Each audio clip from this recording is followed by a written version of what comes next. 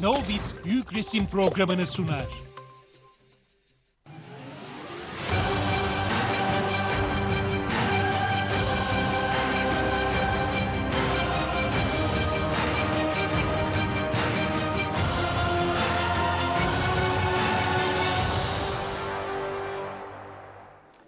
Büyük Resim programından herkese iyi akşamlar sevgili izleyenler. Bu hafta teknolojileri konuşacağız. Teknolojilerin dünyayı götürdüğü noktayı konuşacağız. Yeni teknolojiler neler? Gerçek ile e, sanal arasındaki ayrım giderek azalıyor mu? Artık gerçekliği ayırt edemeyecek miyiz? Sahte ile gerçek arasında fark kalmayacak mı? Deep fake teknolojisi ne, nedir? Bunu hangi şirketler yapıyor? Bunların altında ne var? Verilerimiz toplanıyor mu? Ve ardından bu veriler üzerinden acaba e, bir nevi ölülerle iletişime mi geçilecek? Yani buradan kastettiğimiz şey acaba e, üç boyutlu olarak da bu ölmüş yakınlarımız verileri de toplanarak bir robot kılığında, hologram kılığında karşımıza çıkartılabilir mi?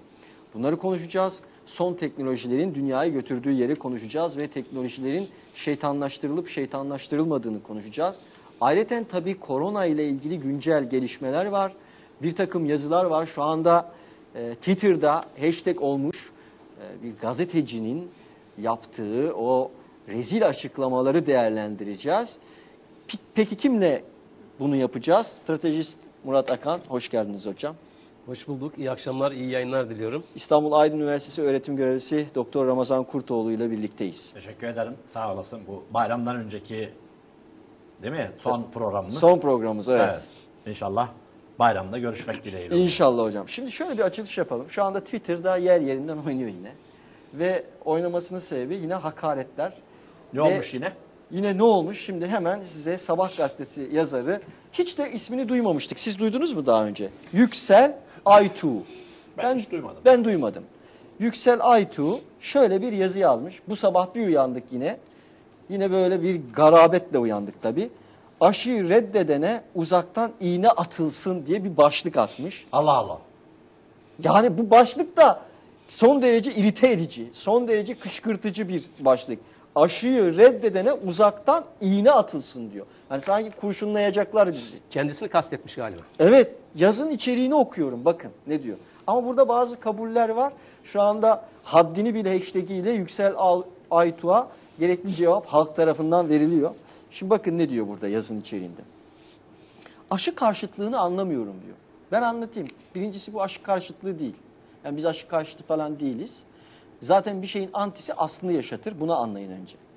Yüksel Aytu. İkincisi diyor ki işin en üzücü tarafı da aşıyı reddedenlerin cahil değil okumuş yazmış nispeten entelektüel kesimden çıkması. İltifat yani. Biz bu aşıyı biz yani bu bir aşı değil aşı adayı bir kere bunu düzelterek iltifattığınız için teşekkür ederiz. Evet. Çoğunun bu e, karşıtlığı bilimsel bir te temele dayanmıyor. Çoğunun bu karşıtlığı bilimsel bir temele dayanmıyoruz. Biz o çoğunluğun içerisine girmiyoruz. Azınlığın içerisindeyiz. Çünkü bizim bu deney sıvısına karşı olmamızın sebebi tamamen bilimsel. Neva Çiftçioğlu'nu izleyiniz. Suaret Bahti'yi izleyiniz. Serhat Fındık hocamızı izleyiniz. Ne kadar bilimsel olduğunu görürsünüz. Yüksel Aytuğ Bey. Meşhur olma çabalarım bunlar. Devam ediyorum. Diyor ki biraz sıra dışı farklı görünme sevdası, çokça da anarşik bir ruh yapısının ürünü aşı karşıtlığı. Oysa konu ciddi, resmen ölüm kalım meselesi. Çünkü toplum bağışıklığı kazanabilmemiz için şimdilik aşıdan başka seçeneğimiz yok. Ya dünyada aşıyla bitmiş hiçbir pandemi yok. Bir bunu anlatamadım. Mehmet Ceyhan'ı dinleyin bari oradan anlarsınız. Erol Köse ile de bunu tartıştım. Şunu bir anlatamadık sizlere. Devam ediyorum. Neymiş efendim? Aşıyla vücudumuza çip yerleştirip bizi izleyecek hatta yöneteceklermiş. Yahu zaten an be an izlenmiyor musunuz? Sıradan bir şehir insanı günde 500 kez güvenlik kameralarının kadrajına giriyor. Bilgisayarda bir ürüne tıklıyorsunuz. Ondan sonra internette her girişinizde o ürün ve türevleri karşınıza dikiliyor. Ya Yüksel Aytu böyle izleniyor olabiliriz. Ama asıl mevzu tabii aşının içerisinde nano parçacıklar var mı yok mu bunu bilemiyoruz.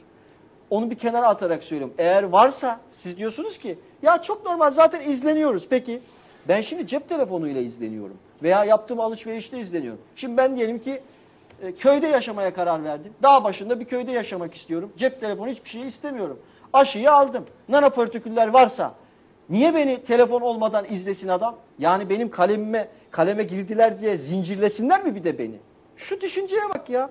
Yani bu şunu da iddia etmiyoruz. Nanopartiküller var mı yok mu bilmiyoruz. Böyle bir iddiamız da yok. Var mı yok mu bilimsel olarak incelenir. Ama bu şu anlama mı geliyor? Ya olsa da bir şey değişmez anlamına mı geliyor? İddia zaten bunun üzerinden gitmiyordu yani. Bu bayağılaştırma. Sonra devam ediyor ki. Bakın telefonda arkadaşınıza yeni bir araba alacağınızdan söz ediyorsunuz. Ardından telefonunuza bankaların otomobil kredileri düşmeye başlıyor. Yani siz zaten takiptesiniz. Alışın demeye getiriyor bunu bak. Tamam. Size kimsenin çim falan e, zerk etmesine gerek yok. Rahat olun. Ne düşünüyorsunuz? Şimdi tabii Sonra diyor ki aşı karşıtları kapalı alanlara sokulmasın. Toplu ulaşım kullanmasın. Şimdi burası çok çarpıcı. Eğer halkla yüz yüze iletişim kurdukları bir meslekleri varsa çalışma izinleri, ehliyetleri, ruhsatları iptal edilsin. Şahsen ben aşı karşıtı bir spor hocasıyla çalışmak istemem ya da çocuğumu aşı karşıtı bir öğretmene teslim edemem. Aşı karşıtlarının seyahat özgürlükleri de kısıtlansın. Bir Adolf Hitler geliyor. Evet kısıtlansın. Sonra ne diyor? Aşı karşıtları virüs e, kaparlarsa tedavileri bedava değil ücretli olsun. Göring geliyor. bu vatan- devam ediyor. Bu vatandaş mı diyor bunu? Evet o devam ediyor. Kim geliyor başka? Bir aşı karşıtının bir Hitler çıkıyor iç- içinden. Bir aşı karşıtının başkalarına virüs bulaştırdığı tespit edilirse cinayete teşebbüsten yargılansın. Ribbentrop geliyor Dışişleri Bakanı Nazi Almanyası'nın. Devam ediyorum. Aşı karşıtları özel işaret ya da simgeler bileklik gibi taşımak zorunda bırakılsınlar ki Goebbels geliyor. Bileklik gibi bakın taşımak zorunda kalsınlar. Hani Nazi Almanyası'nda var ya bu Yahudilere e, şey çiziyorsunuz. Evet. Davut yıldızı çiziyorsunuz burada. Bak bak Goebbels içindeki Goebbels'i çıkarmış. Devam ediyorum. Özel işaret ve simgeler bileklik gibi taşımak zorunda bırakılsınlar ki insanların onlardan uzak durması mümkün olabilsin. Bak bak devam ediyor. Bana kalırsa tıpkı vahşi hayvanlara yapıldığı gibi bak vahşi hayvanlara yapıldığı gibi uzaktan atılan iğnelerle aşılanmalarını sağ, sağlardım ya neyse demiş. Evet. Şimdi tabii adamın ismini bilmiyorum. Ben zaman zaman sabah gazetesini alır okurum. Orada Hıncal Uluç gibi, Hıncal abi gibi çok değerli gazeteciler, yazarlar var. Başka adları da var. Tabii de benim ilk aklıma gelen Hıncal abi yani. Namuslu gazetecidir, düzgün gazetecidir. Zevkle de okurum Hıncal Bey'i. Ee, ama şimdi bu zatı muhterem e, savaşta yaralananlara bile e, böyle uzaktan atılmaz. Morfin acısını dindirmek için gelip e, bizzat yapılır.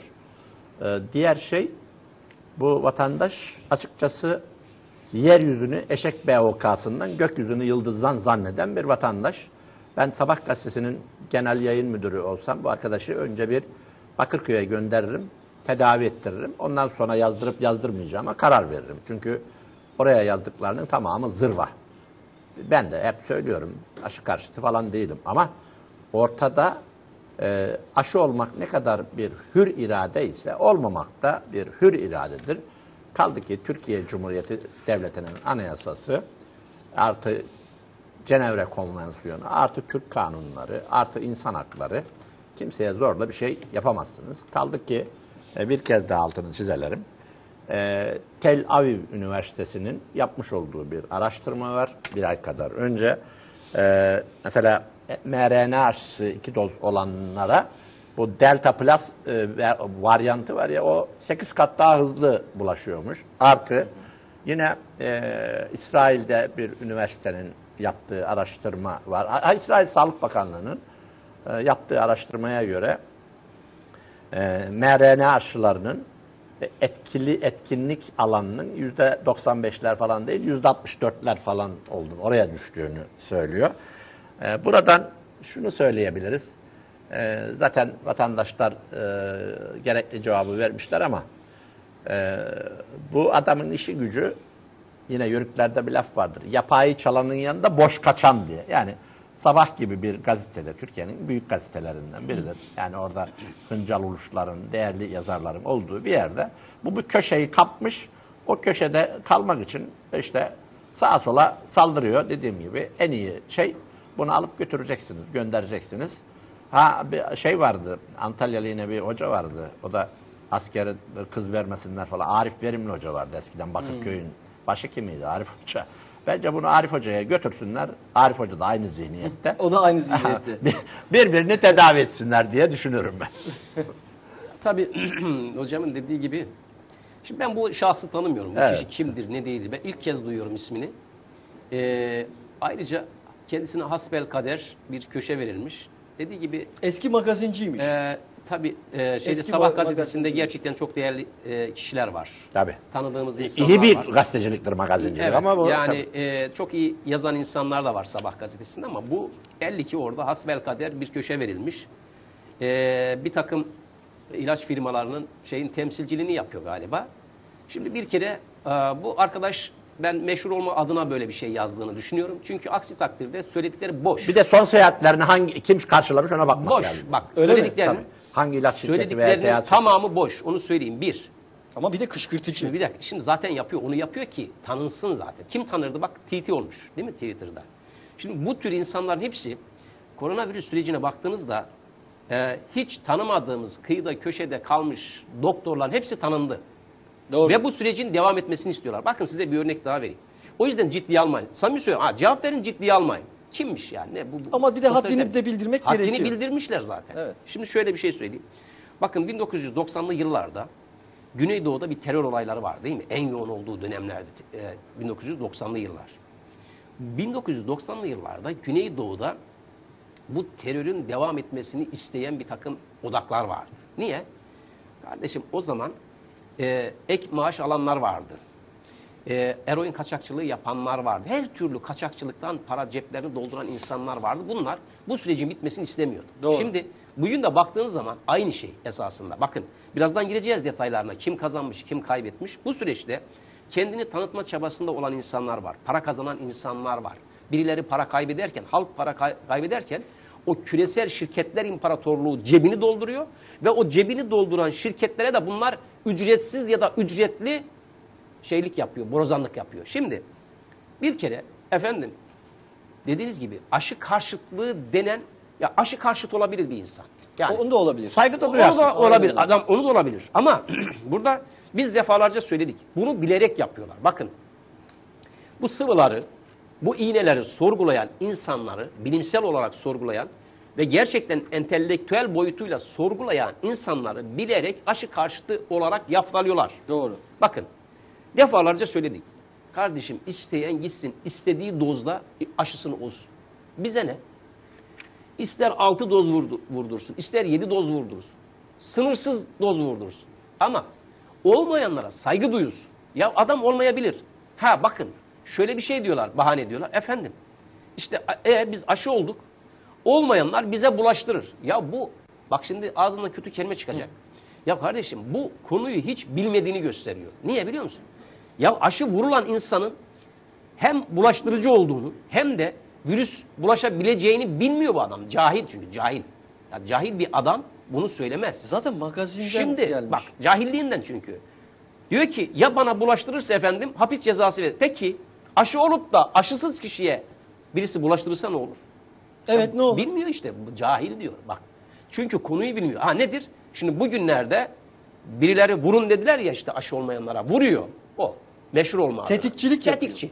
Bitti. Tetikçi. Ha bana bilimsel bilimsel açıdan gelse dese ki kardeşim bakın tamam aşı olmak istemeyenler ya da aşı karşıtları şunu şunu yapıyor ama tamam saygı duyuyoruz.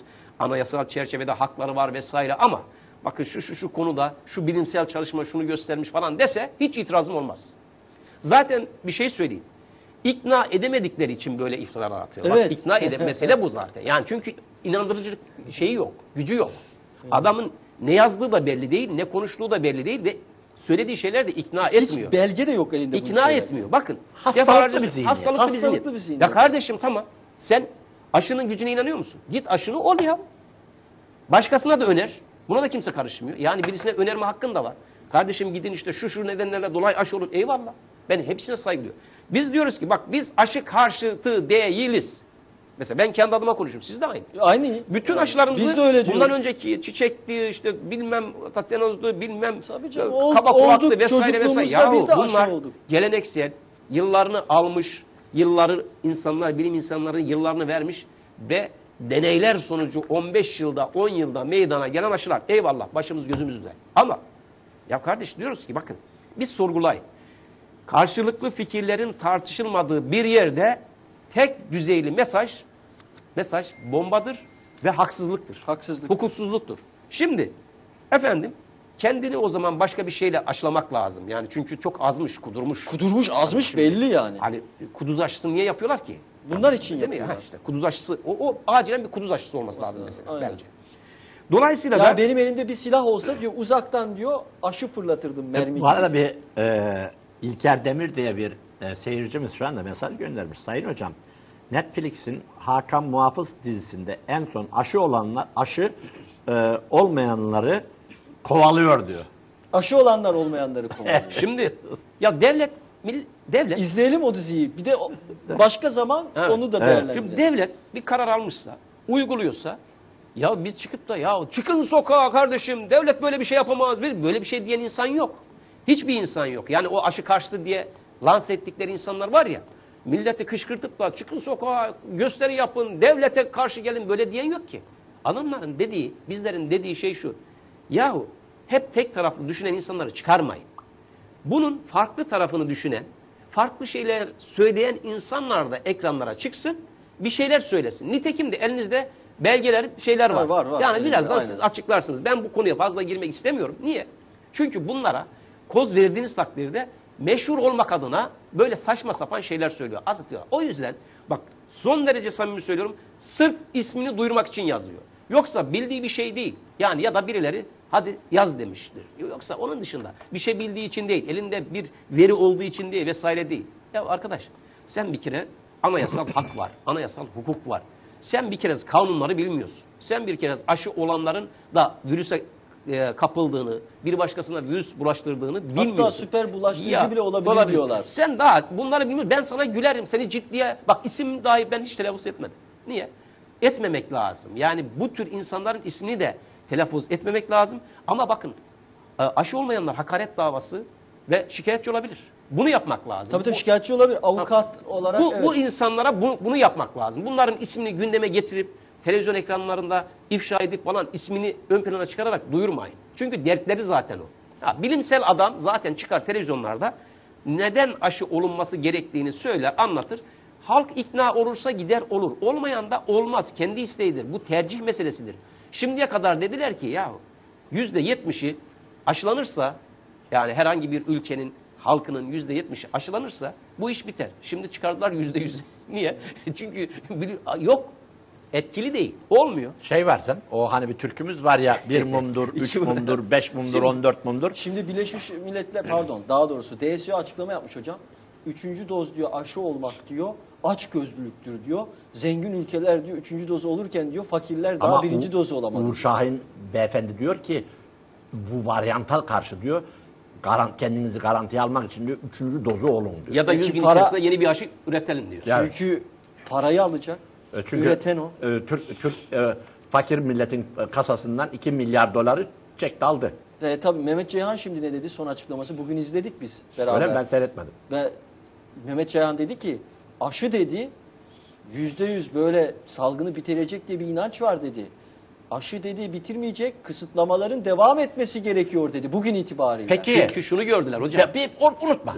Peki bu adamlar bu- bunlar biz bu hekimlerin dışında laf etmesin diyor değil mi? Kimse laf Evet. etmesin bu bunlar bu, bu vatandaşlar. Peki bu ülke kapatıldığında, ekonomi kapatıldığında her kapatmanın bir gününün Türk milletine 1 milyar dolara mal olduğunun hesabını Mehmet Ceyhan mı verecek? Cebinden verecek mi? Oğuz Mehmet Biraz önceki söylediğin o gazeteci vatandaş mı verecek? Olsun hocam. Bunlar var ya, bunların hepsi devletin altına dinamit koyan zihniyet. Halkın kaybetmesi önemli değil ki hocam. Tabii, bunlar Çünkü kendileri bunların patronları Bunlar çıksın hep konuşsun kaz- değil mi hayır, orada? kazansın. Baş kim kazansın birazdan açıklayacağım. Kim ne kazanmış bu koronavirüs sürecinde. Ya, Ya- bu süreç bittiğinde Mehmet Ceyhan bir daha televizyona çıkamayacak, konuşamayacak. Ama bu süreç bittiğinde biz konuşmaya devam edeceğiz. Çünkü bizim e, alanımız strateji var. E, ondan sonra ne var? Ben mesela felsefe mezunuyum, tarih mezunuyum. Bunların hepsi benim konuşmama müsait. Ama Mehmet Ceyhan ne konuşacak? Konuşmayı bırak. Nasıl otorite haline Bir de gelecek? şunu özellikle bu tipler yani bu Bir de şu gazeteci, vatandaş de- var ya bu tipler böyle sanki mesela kendi tercihini bireysel tercihini kullanarak aşı olmayanları olmayan kişileri sanki böyle devlete karşı bir vatandaşmış gibi yaftalamak istiyorlar. Bu çok önemli bir şey. Ama çok tehlikeli, Tehlikeli bir bir şey. şey aynı zamanda. Bakın. E, bu kamplaşmaya yol açar. halbuki bakın, Zaten yapılmak istenen İstenen o. Yani, O. Yani terörize Mesih ediyor. formatı işleniyor. Ben çok kişi tanıyorum. Mesela bugünkü iktidara gönülden bağlı oy vermiş ama aşı olmak istemiyor adam. Ya kardeşim şimdi bundan sen niye hükümeti karşı karşıya getiriyorsun? O zaman maksat ne? Niye getiriyorsun? Maksat şu. Maksat tetikçilik yapmak. Ee, birileri ceplerini dolduracak ya. Belki bilmiyorum uzaktan onlara da geliyordur. Bu tür insanlara da geliyordur böyle bir şey. Bilemiyoruz. Yani birileri ceplerini dolduruyor. Şimdi iftira atmak istemem. Ama yani şimdi şöyle yazının şeyine bakıyorum okudunuz boş. Bak diyorum ki eğer çıkıp belgelerle ya şunun için hep herkes aşı olmalıdır. Şu şu nedenlerle olmalıdır.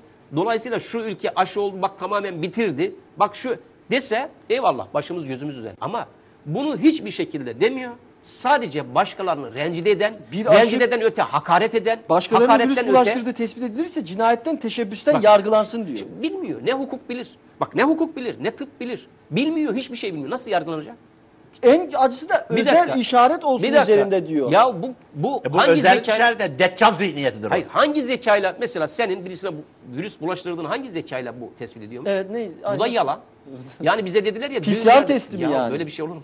Şimdi bak burada üçümüz veya kameraman arkadaşlarımız da var, yönetmen de var vesaire tamam mı? Bir de vahşi hayvan diyor. 10 bize. kişiyiz. Bak 10 kişiyiz.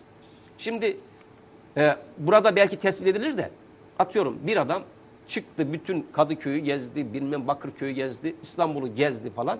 Ondan sonra birilerine orada birileri de koronavirüs oldu.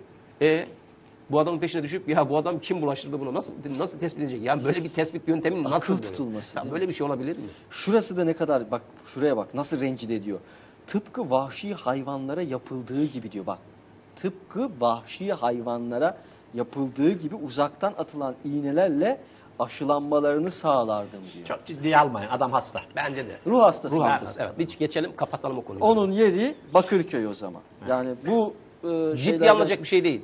Ee, değerli Sabah gazetesi ve değerli yazarları var orada. Bak onları gerçekten karalayan da bir Sabah gazetesi şu anda halkın bir kesimini karşısına aldı bu yazar vasıtasıyla. Bu bu hakaretler, bu rezillik, bu Nazi Almanyası övgüleri, bu Hitlervari düşünceler, bu işte oradaki Musevilere yapılan damgalanma, Davut Yıldızı damgalanması gibi buraya işaret takalım gibi zihniyetle bir nazizmin temsilcisi ünvanını verdiriyor Sabah gazetesine. Umarım Sabah gazetesi bir açıklama yapar. Yapmadığı müddetçe de halkın gözünün bir kesimin gözünde hiçbir itibarı kalmamış. Ya dese ki kardeşim bak bu aşı evet her açıdan karşı olabilirsiniz vesaire vesaire vesaire ama ya bu aşılama işte e, hastaneye yatışları engelliyor, aza indiriyor vesaire dese bak mantıklı bulurum. Bak doğrudan diyor ki ya bulaştırırsa diyor cezala. Ya aşı olduğun halde zaten sen de bulaştırıyorsun. Sen hem bulaştırıyorsun hem de virüs kapabiliyorsun. Şurada işte o yüzden diyorum ciddiye alma ya. Çünkü konuyu bilmiyor. Şimdi aşı dedik ya. Aşı adayı sıvıdan bahsediyoruz esa- esasında. Şimdi elimde benim aşılamadan sonra artan vakalar var. Bunu yakın alabilirsek bakın e, grafiklerin hepsini göstereceğim. Elimde bütün ülkeleri almadım. Dosya kabarık olur diye bazı ülkeleri aldım. Şimdi burada hatta şuradaki kamera da olabilir. Bilmiyorum hangi kamera uygunsa. Filipinler. Şimdi 28 Şubat 2000 şöyle göstereyim bakın. Biraz parlıyor ama şöyle heh, şöyle gözüktü. 28 Şubat 2020'de Filipinler'de aşılamanın başladığı yer burası. Ardından bakın vaka ve ölüm oranının artışını görüyoruz. Hadi Filipinlere denk gelmiş tesadüf. Ardından Bosna Hersek farklı ülkeler veriyorum. Aşılanmanın başlandığı nokta burası. Vaka artışı şurada devam ediyor. Şu noktada bir düşüş var ama aşılanmadan sonra bir vaka artışı gördük. Devam ediyoruz. Şimdi geçelim. Hemen göstereceğim. Ba- Bangladeş. Aşılanmanın başladığı nokta. Şurası 26 Ocak 2021 vaka ve ölüm oranı artışı. Hiç şimdiye kadar olmadı. Bakın Bangladeş'in 2020 Mart ayından beri çizelgesinde hiç bu kadar yüksek bir çizelge ortaya çıkmamış. Diğerlerinde de öyle. Devam ediyorum. Aşılanmanın başladığı Almanya'da 2020 yine e, Ocak ayından beri bakın bir çizelge var. Ölüm vaka artışına bakıyoruz. Şurada bir yükseliş var. Aşılanma başlamış. Şuradan inmiş. Daha doğrusu veri yok inmemiş. Şuradan büyük bir yükseliş yine geçmiş. Devam ediyoruz. Venezuela. Aşılanmanın başladığı tarih 12 Şubat 2021. Yine şurada vaka ölüm artış, günlük vaka ölüm artış oranını görüyorsunuz. Hep aşılanmadan önce e, burada aşılanmadan sonra daha yüksek bir grafik. Devam ediyorum. Katar. Aşılanmanın başlandığı nokta. Hemen şurada göstereyim. 22 Aralık 2020 burada. Şurada artışı görüyoruz. Şimdi bunun iki cevabı var. Devam edeceğim. Ha tamam bitti. İki cevabı var bunun. Ya aşılar işe yaramıyor ya da aşılar varyantları tetikliyor. Yani aşılar hiç etkili değil. Ee, Daha önceki da- dalgalanmaları aşı vurulmasına rağmen yine yaşıyoruz. Yahut da aşılar varyantları oluşturuyor. Ee, Luke Montaigne'in iddiası ikincisi. Aşıların varyantları oluşturduğu iddiası. Ayrıca şunu daha iyi bilelim. Mutasyonu olan bir virüse karşı hiçbir zaman etkili bir aşı geliştirilemeyecektir. Erkancığım bunlar bunlarla uğraşırken birilerin neyi götürüyormuş ben hemen onu söyleyeyim. Ya mesela bu süreci tartışıyorlar ya. Evet. Yani kimin e, sözcülüğünü yaptıkları, kimin... Bak bir kere şunu söyleyeyim. Biz bireysel olarak aşı olana da saygılıyız, olmayana da saygılıyız. İsteyen aşısını olur, isteyen olmaz. Bu anayasal haktır. Ama şu var, adama aşı olmayanlara kesinlikle hakaret edilmesin, kesinlikle bir ayrıcalık, e, bir ayrım yapılmasın, ötekileştirilmesin. Şimdi koronavirüs sürecine baktığımızda özellikle gündeme bu aşılar getirilerek sadece aşılar üzerinden bu süreci tartışmaya açıyorlar. Bakın sadece konuşulan aşılar. Bunu sürekli konuşuyorlar ki diğer yapılanlar, diğer uygulamalar, diğer kaybedenler, kazananlar ortaya çıkmasın. Mesela ne var? Mesela şunu söyleyeceğim. Bu süreçte baktığımızda ya orta ve küçük ölçekli işletmeleri iflas ettirdiler kardeşim ya. İflas etti insanlar. Bir, niye? Kapanmalarla. Burada kapanmaların bir fayda sağlamadığını, sağlamadığını ki Mehmet Ceyhan da bunu iddia, itiraf etti. Yani Ama şimdi yeniden Şimdi kısıtlama devlet- olsun Bak işte ne dedikleri. Bu kadar tutarsız bir insan olabilir bu mi bir ya? de kafa karışıklığı bilerek yapıyorlar. Onu söyleyeyim. Çünkü insanların kafasını karıştırırsanız insanlar artık bir şey düşünmezler. Tamamen otoriteye bağlı hale gelirler. O yüzden kafa karıştırıyorlar. Şimdi bu süreçte 50 trilyon dolar el değiştirildi. Yani koronavirüs süreci boyunca 50 trilyon dolar el değiştirdi. Kimin cebine gitti? İşte bugün bu koronavirüsün koronavirüs sürecinin devam etmesini isteyenlerin cebine gitti. Bunlar sürekli fonluyor, bir yerleri fonluyor. Niye? Bu süreç uzasın. 5 yıl, 10 yıl, 15 yıl neyse devam etsin. Çünkü felaket para kazanıyorlar. Kim kazanıyor? Bak mesela e, koronavirüs sürecinde en çok kazananları söyleyeyim sizlere. Ne kadarmış daha önceki sermayeleri sonra ne yapmışlar? Bir, Gates. Hepsini tek tek açıklayacağım sermayesini. İki, Amazon'un kurucusu Jeff Bezos. Ee, yine Tesla'nın SpaceX'in kurucusu Elon Musk. Facebook'un kurucusu Mark Zuckerberg. Zuckerberg. Şimdi bugün baktığınızda koronavirüs sürecinin uzamasını, koronavirüs sürecinin tartışmasız bir süreç olduğunu vurgulayan kimler? Bunlar değil mi? Doğru. Yani şimdi bir şey yazdığım zaman bakın başıma geldi. Facebook. Ya bir haber Almanya'da şu var. Almanya'da e, bir test yap pardon Fransa şeyde e, Fransa'da bir test yapılmış. Testin sonucunda diyor ki e, bir konser verilmiş. Bu konsere 4000 kişi alınmış. 4000 kişi de maskeli ama mesafesiz. Ve koronavirüsün bulaşmadığı tespit edilmiş. Sadece bunu paylaştım. Ne yaptı? Sansürledi. Üç Halk sağlığını tehdit ediyor diyor. Topluluk kurallarına aykırı. Ve Facebook e, sayfam 3 günden beri kapalı. Bakın bunu dile getirmek için Instagram'da dedim ki şu haberden dolayı sayfam kapatıldı. Onu da sansürlediler. Yani sansürü de sansürlediler. Yani bu da haberden dolayı sayfan kapatıldı Kapa- diyemiyorsun. Da Diyemiyorsun. sansürlü. O da sansürlü. Ya böyle bir şimdi, Teknoloji ve teknopoli üzerinden insanlık tarihinin en büyük despotizmi Ha, geliyor. Şimdi bunu niye yapıyorlar? Bakın bu, bu süreci tartışmasız hale getiriyorlar. Çünkü uzasın istiyorlar. Bunu uzarken Bu de ne ben de yapıyorlar? bir sansür yedim Bakın bu dört baron saymış olduğum Bill Gates, Jeff Bezos, Elon Musk ve e, Facebook'un kurucusu Mark Zuckerberg bu süreçte ne kazanmış? Forbes dergisinin açıklamasına göre 2021 milyarder, e, milyarderleri listesine baktığımızda bir, Jeff Bezos 113 milyar dolar olan servetini bir, yıl, e, bir yıllık koronavirüs sürecinde 177 milyar dolara çıkarmış. Yani Bezos 2020'den 2021'e kadar 1'e kadar servetini 64 milyar dolar artırmış. Bir. Tabii. O adam konuşur. Bak o konuşsun. Kim kazanıyormuş? Bir yılda 64 milyar dolar ya. Peki nasıl kazandı hocam Ha, diye soracaksak şimdi, herkes dakika. dijitale kaydı. Şimdi bunu hocam dört madde Evet. açıklayın. Söyle, size gelsin. seni teyit eden bir şey Tabii. söyleyeceğim. Gelelim Elon Musk.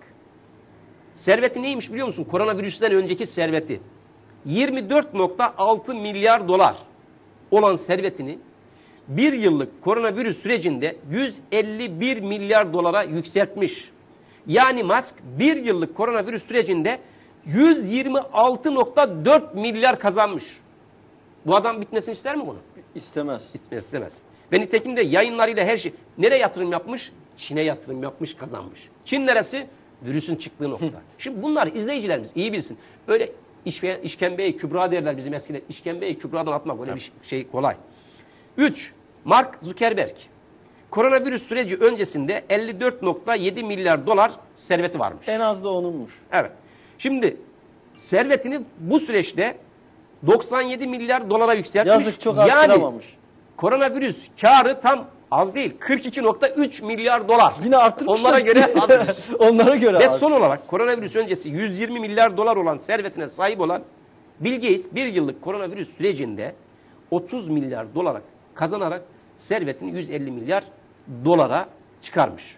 Şimdi arkadaşlar sen neyi konuşuyorsun ya? Senin esnafın ne yapmış? Senin vatandaşın ne yapmış? İflas etmiş iflas. Orta ve küçük ölçekli işletmeler iflas etmiş Buna rağmen ya. ülkede bu Türkiye Cumhuriyeti Devleti'nin üniversitesinin profesör ünvanı, akademik e, title verdiği bir hoca çıkıyor Mehmet Ceyhan kapatılsın diyor. Peki Murat'ın dile Bu getirdiği- sadece dört tanesini verdi. Bu milyarderler uzayıp gidiyor. Murat Bey'in dile getirdiği kapanmadan dolayı benim belirttiğim bir günlük bir milyar dolarlık maliyet ödeyen Anadolu'nun o gariban Müslüman Türk'ünün hali ne olacak? Mehmet Ceyhan mı verecek? Veya bu gazeteci mi verecek? Şimdi ben, e, Murat Bey'i teyiden söyleyeyim bakın. Tabii. Facebook'un bak Türkiye Cumhuriyeti Devleti'nin şu anda resmi milli geliri 750 milyar dolar Bu arada civarında. büyük resim hashtaginden sorularınızı yöneltebilirsiniz Twitter üzerinden. Bakın Türkiye Cumhuriyeti Devleti'nin yani 85 milyon Müslüman Türk insanının yaşadığı bu ülkedeki milli gelir resmi rakam 750 milyar dolar. Facebook denen şirketin piyasa değeri 550 milyar dolar. Microsoft'un piyasa değeri 950 milyar dolar. Apple'ın 700 milyar dolar. Amazon'un 950 milyar dolar. Google'un 1.100 trilyon dolar. Şimdi Murat kardeşimin sorduğu gibi peki benim Fatma teyzem Muharrem amca ne ödüyor? İflas etmek veya karnını doyurmakla ki Gandhi'nin bir sözü vardır Hint kurucusu, Hint- Hindistan'ın kurucusu. Eğer Tanrı varsa ki vardır bir Hintli için en iyi ekmek şeklinde gözükebilir diyor. Bugün insanlar perişan vaziyette ama Mehmet Ceyhan ve bu vatandaş diyor ki kapatalım. Hocam bize diyorlar ki burada bize diyorlar ki getirdikleri eleştiri şu diyorlar ki ya tamam da siz hiçbir önlem almayalım mı diyorsunuz? Biz öyle bir şey demiyoruz bakın. Biz diyoruz ki kardeşim güzel, bir neden? İspanya'da deney yapılmış ya 5000 kişiyi stada doldurmuşlar. Mesafe diye bir şey yok. Maskeleri var. Fransa'da da var doldurmuş ve virüsün bulaşmadığını onaylamışlar. Bu bilimsel çalışma diyoruz. Adamlar diyor ki e, bakıyor. Ya bilimsel çalışma. Şu diyor. Bireysel önlemlerinizi alın. Ha kardeşim kapalı alanlarda kısa süreli maskenizi de takabilirsiniz. Onu da alın. Artı temizliğe riayet, ede, hijyene riayet edebilirsiniz. Artı kardeşim ondan sonra bireysel olarak devletin önerdiği şeyleri ama tutup sen ona katıl ama kapat. İki ay kapat, üç ay kapat. Ya kapatmaların bilimsel olmadığını defalarca söyledim. Reklamlardan sonra bu konuyu biraz daha tartışalım. Kısa bir ara. Aradan sonra yine karşınızda olacağız. Neovit'in sunduğu büyük resim devam ediyor.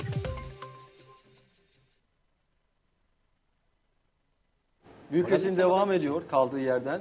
En son bu korona tartışmalarında işte bir gazetecinin, magazin gazetecisinin konuşmaları üzerinde konuştuk. Ee, bazı veriler paylaştık. Ardından Bill Gates'in servetine nasıl servet kattığını, Jeff Bezos'un, keza Mark Zuckerberg'in e, nasıl zengin olduklarını konuştuk. Ramazan hocam bir şey söyleyecekti en son.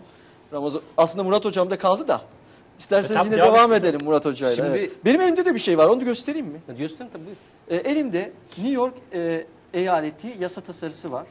Ocak e, 6 Ocak 2021 tarihli. Ve bu yasa tasarısı 416 A olarak biliniyor. Çok ilginç bir yasa tasarısı. Şimdi buraya geleceğim. E, önümüzde bizi ne bekliyor diye. Seyirci, izleyicilerimiz bilmeyenler varsa şaşıracaktır. Burada diyor ki bundan böyle diyor eyalet içerisinde Covid şüphesi bulunan insanların toplama kamplarına gönderilmesi.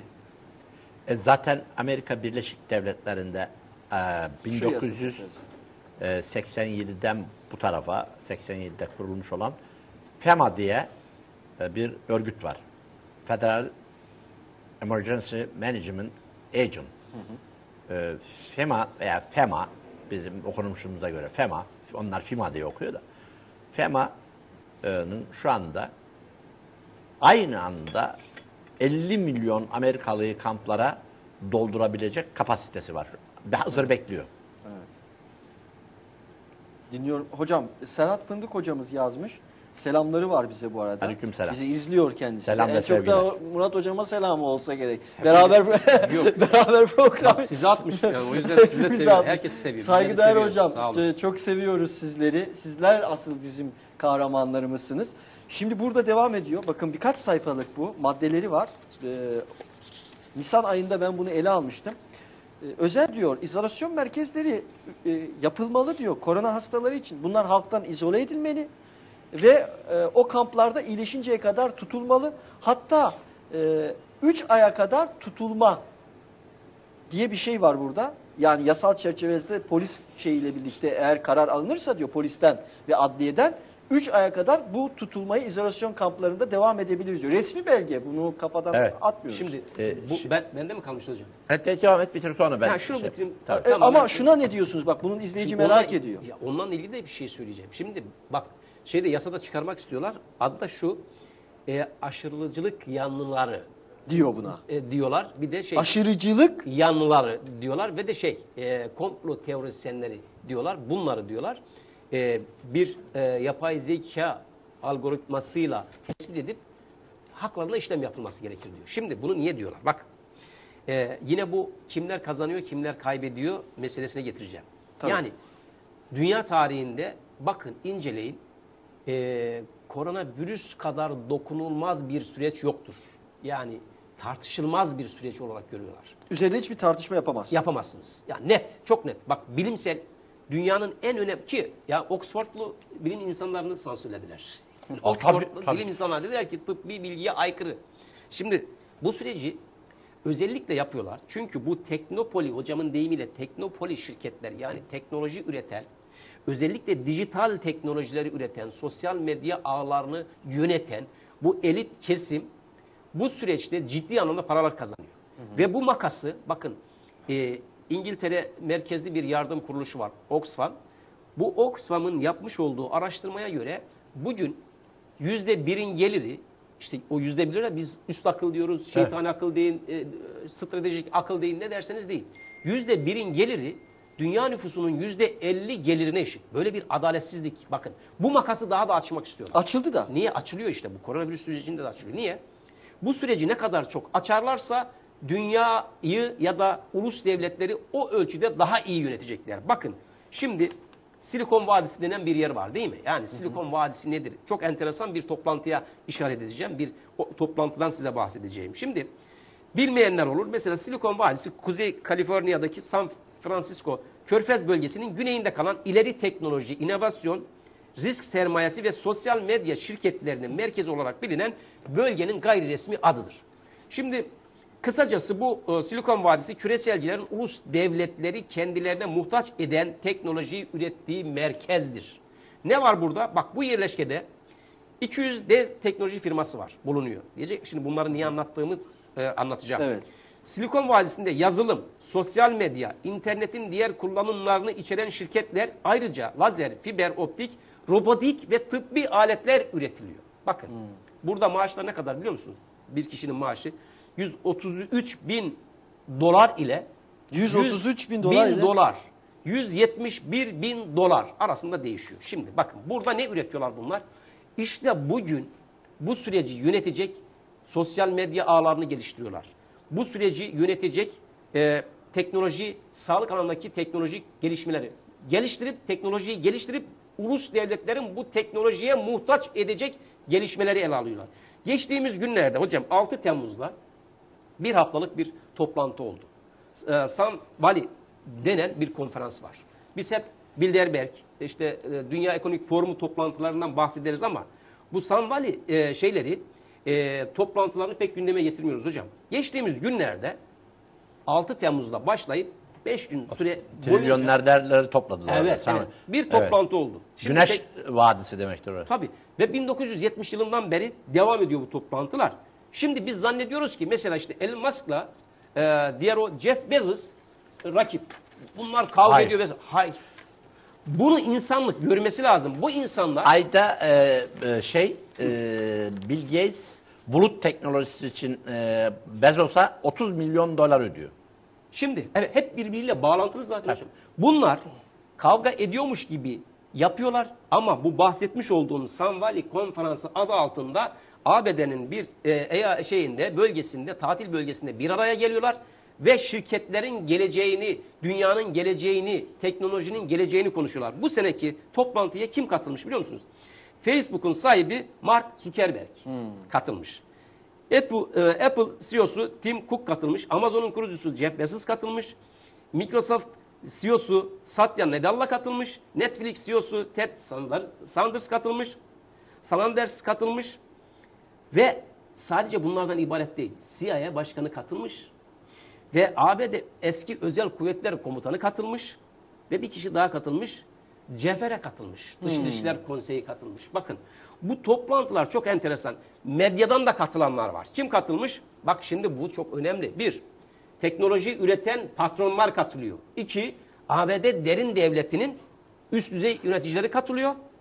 Üç, Hani medyaya geleceğim işte diyorum ya bunlar niye konuşuyor bu medyadan yazıp çizenler Para mı alıyorlar Niye acaba? konuşuyor? Bakın medya da katılmış ama hangi medya? CNN International, New York Times, ABC News, CBC News, Washington Post.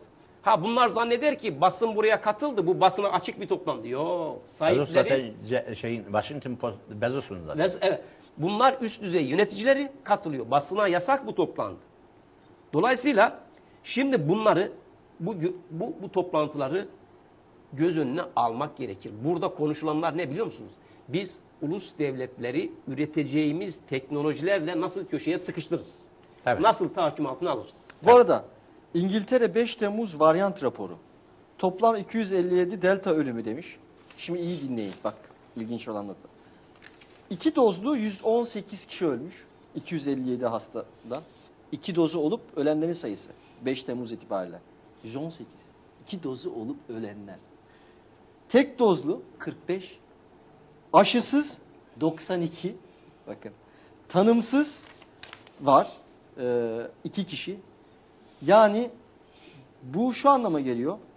Yüzde ellisi e, demiş e, art, neyse burada şimdi karışık bir rakam var onu vermeyeyim ama e, iki dozu olup ölenlerin sayısının 118 olması tek dozu olup ölenlerin sayısının 45 olması şu anlama gelmiyor mu ya? Bu aşı korumuyormuş anlamına gelmiyor mu? Hocam, Geliyor tabii. Bak şeyi Mesela demek önce şunu demek istemiyorum. Hayır. Aşılı olanları aşılı olanlar daha çabuk yakalanır Tel Aviv- demek istemiyorum ama veriye göre o da söylenebilir. Tel ama Aviv. Üniversitesi'nin araştırması iki doz e, BioNTech, Pfizer, BioNTech aşısı olanların Delta Plus ver, e, mutantına, e, mutasyonuna yakalanma ihtimali normal aşı olmamışa göre 8 kat daha fazla. Tel Aviv Üniversitesi e, bunu yayınladı mı? Yayınladı yayınladı. Basında var. Bir daha tekrarlayın. e, iki doz BioNTech Pfizer aşısı olan insanların olmayanlara göre Delta Plus varyantına yakalanma ihtimali 8 kat daha fazla. Şimdi bir şey daha var. Bir e, bunu İsveç kendisi açıkladı. Ne Bir veri açıkladı var. Hocam? Şunu açıkladı. Şimdi şöyle bir şey söyleyeyim. E, aşının e, hastaneye yatışları e, azalttığı söyleniyor ki bir ölçüde buna katılabilirim. Yani bir şekilde baktığınızda veriler bunu gösteriyor. Ama bu hiç hastaneye yatmayacaksınız. Aşı olduktan sonra ölmeyeceksiniz anlamına gelmez. Bak biz objektif Kaldı olarak... ki 2 yıllık 3. evre araştırmalarının ne getireceği Heh, belli değil belli daha. değil. Ama Yani kısa ortada vadede sağlam veriyor. Evet, Ama kısa ben- vadede, kısa vadede şu andaki veriler aşıların yani hastaneye yatışları azalttığı gözleniyor. Bak ama bir tamamen kapatmıyor. Şimdi öyle bir algı var ki diyorlar ki aşıyı olduysan hiç hastaneye yatmazsın. Ama Koronaya hocam yakar- şu verileri vereceğim bak şimdi 5 onu vereceğim. Temmuz raporu Vereceğim onu vereceğim işte bak. Böyle bir algı oluşturuyor. Ölmezsin de hastanede yatmazsın. Sürünürsün. Yok. Şimdi bak İsveç'te 450 kişiye iki doz aşı olmuş 450 kişiye e, koronavirüs bulaştığını İsveç e, şey Sağlık Bakanlığı açıkladı. 450 kişiye. Bunların içerisinde 19'u öldü. E, 26'sı da hastaneye yattı ağır hasta olarak. Şimdi bak elinizde veriler var. Şimdi konuştuğunuz zaman verilerle konuşmanız gerekir ki bir anlam ifade etsin. Bir istatistik vermeniz gerekir. Ha o zaman şu çöpe gidiyor. Yani aşı olan ölmeyecek diye bir şey yok. Aşı olan hastaneye yatmayacak diye bir şey yok. Ha desinler ki ya şu kadar bakın böyle bir veri de vermiyorlar. Şu kadar insan Türkiye'de desinler ki şu kadar insan aşı oldu. Şu kadarı hastaneye yatmadı, şu kadarı öldü, şu kadarı ölmedi. Bir açıklama niye vermiyor? o zaman o Ben şimdi soruyorum hep. Ben de bunu buraya gelecektim bak. Çok güzel noktaya geldiniz hocam. O zaman spekülasyona mahal vermesinler. Desinler ki Sağlık Bakanlığı aşı olanların listesi yok mu elinizde? Var. Açıklayın. Aşı olup koronaya yakalanların listesini açıklayın. Aşı olmayıp koronaya yakalanların listesini açıklayın. Şeffaf olun, şeffaf. Ardından aşı olup birinci doz aşısını olup koronaya yakalanları ayırın. İkinci doz aşısını olup koronaya yakalanları ayırın. Şimdi bir şey daha yapın. Aşı olup iki doz koronaya yakalanıp ölenlerin listesini çıkarın. Aşı olmayıp koronaya yakalanıp ölenlerin listesini çıkarın. Biz bunları görmek istiyoruz doğru değil mi? Tabii de tabii bugünkü e, bakanlığın iki Türkiye'de iki bakanlık e, küresel e, güçlerin çok büyük etki alanı altındadır. Bunlardan birisi Sağlık Bakanlığı'dır. Birisi de Tarım Bakanlığı'dır. Maalesef çok acıdır bunlar stratejik bakanlıklar ama burada çok ciddi küresel etkilere açık bu bakanlık kadroları. Özellikle üst düzey. Tabi alttaki Anadolu'daki insanları kastetmiyorum. Ee, benim kardeşimin biri de ziraat mühendisi. Şimdi bu, buradan bir şeye gelmek istiyorum. Önce Murat Bey'in sizlerin anlattığını tanımlayalım. Şimdi açıkçası küresel güç simsarları, elitler dediğimiz e, insanlar için e, nereye varacağı belirli ama bizim gibi ahali için sonu nereye varacağı belirsiz bir virüsler dünyasına ittiler. Ve bu süreçte insanların davranış biçimini en iyi anlatan şey zihinsel uyumsuzluktur. Ve bugün Türkiye, Türk toplumu ve dünya bir zihinsel uyumsuzluk içinde yaşıyor. Diğer taraftan Amerika'da bakın e, defaatle söylediğim gibi biraz daha bugün izin verseniz açacağım onu. E, bu hadise bir e, sağlık meselesi değil. Keşke sadece sağlık meselesi olsa. O zaman bu işin çözülmesi çok daha kolay ama e, zaten e, bu iş sadece sağlık meselesi olsa e, bu iş şimdiye çoktan biterdi. Ama sağlık meselesi değil. Onun için e, ittirdikçe ittiriyorlar ki 29 Mayıs 2020 tarihli Amerika'da yayınlanan Foreign e, e, Policy diye Foreign Policy diye bir dergi vardır. Orada Muhammed El Eray'nin Why are stocks soaring in the middle of pandemic diyor. Şimdi burada adamın yazdığı şu.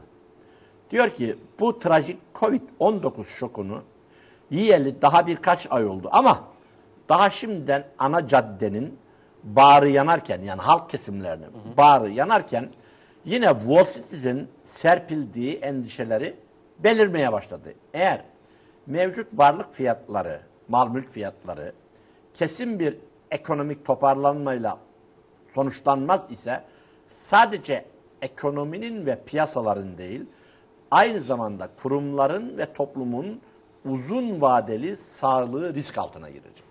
Buradan şu gün baktığımızda eee, önümüzdeki dönemde insan zekasına hükmeden 21. yüzyılın lideri olacak, patronu olacak dedi. Kimdi? Şeyin Google'un sahibi, sahibi. Diğer taraftan baktığımızda insanlık e, İspanyol gribinden sonraki en kötü salgınla karşı karşıya. 1929'da başlayan büyük buhrandan sonraki en trajik ekonomik çöküşle karşı karşıyayız. Üstelik altın vuruş için gıda ve suyu bekliyorlar. Sahibi bakın bir yıldır sevgili seyircilerimiz biliyordur. Ee, dünya Türkiye'de ve dünyada gıda fiyatları nereye gidiyor? İşte burada mücadele, mücadele bir dünyanın patronu kim olacağı mücadelesi. Bu anlamda da insanlık tarihi boyunca en aşağılık yöntemi deniyorlar. Yani insan sağlığıyla. oynuyorlar. İnsanları hayvanlar gibi kümese Tabii. tıkar gibi tıkıyorlar. En aşağılık insanları fakr zaruret içindeki insanların çocuklarının üzerine oynuyorlar. Paralarını alıyorlar. Paralarını alıyorlar. İşte bundan dolayı baktığımızda bu mücadelede bir tarafta yukarıda bir küresel hegemonya kurmak isteyen güç simsarları var. Bir tarafta bunların bir başka tarafı Vatikan Opus Dei var bunlara karşı direnen. Birkaç diğer tarafta evangelist Amerikalılar var. Ama buradan Vatikan Opus Dei direniyor mu hocam bunlar? e, direniyor bunlara. Direniyor. Niye? Ha orada tek değil ama direniyor yapı olarak direniyor. Çünkü onlar da patron olmak istiyor. Onun için çok sevdiği için değil. Direniyor. İşte burada baktığımızda hadisenin hep bir e, felsefi, dini boyutu var. Ve bunu da biz panteizm, kabala diyoruz. Ve, ve e, İslam dinindeki dahil Hristiyan, Yahudi pek çok cemaati, tarikatı köküne kadar kullanıyorlar. Diğer taraftan ise genetik ve biyoteknolojik çalışmalar malum, malum bu zaten e, şeyin e, Amerikalı bir düşünür diyor ki bir, bir biyolojik silahtır. Bu da e, bu biyolojik silahın adı da şöyle tanımlanmış. Kill switch yani ölüme döndürme, ölüme çevirme diyor. Neticede zaten e, Luke Montaigne 3 hafta önce attığı ki Luke Montaigne HIV'nin, AIDS'in e, virüsünü bulan e, 2008 Nobel e, ödüllü. Nobel Tıp Ödülünü verilen çok namuslu bir Fransız bilim insanı. O diyor ki özellikle mRNA aşısı olanların önümüzdeki iki yılda e, çok fazla hastaların hayatını kaybetme oranları yükselecek diyor. E, diğer taraftan da şimdi e, televizyonda kıvırta kıvırta söyleyenler efendim ortada bir olumsuz bir şey mi var diyor. E be anam babam bu aşının zaten iki yıl asgari üç yıl yapılması gereken üçüncü faz denemelerini yaptırmamışsınız. Bunlar Daha ne olsun? Ha, bu daha ne olsun? Diğer taraftan bir başka baktığımızda dünyada bir mücadele var. Bu mücadeleyi ben e, açık ifade edeyim. Tek tek şöyle bir e, sıraladığımızda bu e, güç e, mücadelesinde e, aşının ve bu koronavirüsün bir kaldıraç olarak kullanıldığını söylüyoruz.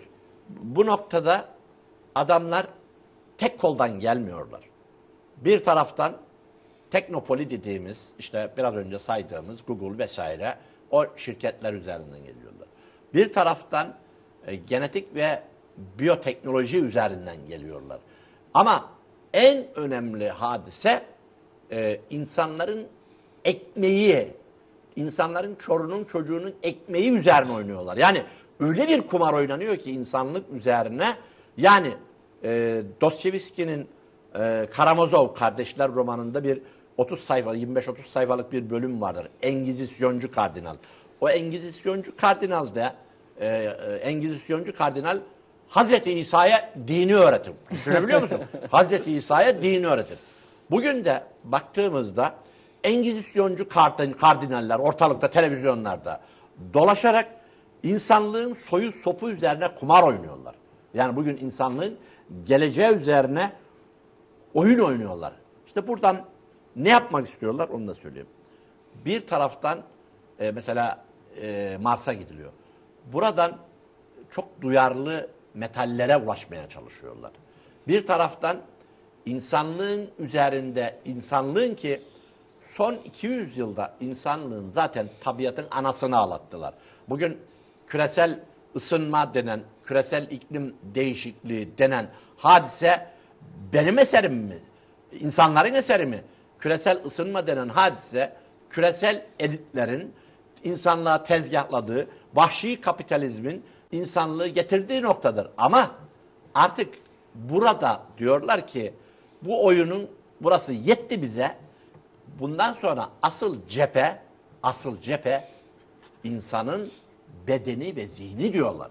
Bunun için de Google 2011 yılında İngiltere'de Doğu Londra'da kurulmuş olan DeepMind adlı bir şirketi 2014 yılında inanılmaz bir para ödeyerek, inanılmaz bir para ödeyerek 650 milyon dolar gibi bir para ödeyerek açıkçası satın aldı. İşte bu satın almanın sonucunda e, bu adamlar e, bir daha önceki bir programda sö- da söylemiştim ama bir daha söyleyeyim. Paranız varsa 188 bin pound, 188 bin sterlininiz var ise Londra'da bir klinik var. Yatıyorsunuz oraya. Size tıpkı arabanızı servise götürdüğünüz gibi orada kabloları bağlıyorlar, onu bunu bağlıyorlar ya. Ondan sonra ayağınıza, beyninize, kolunuza, kafanıza neyse nerenize gelirse kabloları bağlıyorsunuz. Bir taraflarda genetik mühendisleri, kan dışkı idrar efendim testleri, bir tarafta tıp mühendisleri, diğer tarafta ise bu bilgisayar uzmanları bir rapor çıkarıyorlar. Size adeta bir makine yerine koyuyorlar. Bu makine, çıkan raporda diyorlar ki burası, burası, burası aksıyor diyorlar. Nitekim ünlü Amerikalı Musevi kökenli sinema oyuncusu e, bir hanımefendi var idi. E, tam ismi aklıma gelmedi. O gitti bu testi yaptırdı. 188 bin pound verdi vermedi ama halk e, RAYA'ya bu 188 bin e, pound kadına dediler ki e, yüzde e, 78'di galiba. Angelina Jolie mi? Angelina Jolie e, meme kanseri olabilirsin dedi. Kadın memelerini aldırdı ama başka yüzlerce daha insan var. Burada açıkçası sonu nereye varacağı belli olmayan bir gen teknolojisi var. Biyoteknoloji var. Buradan oynuyorlar ama sadece buradan oynamıyorlar. Bakın söyleyeyim.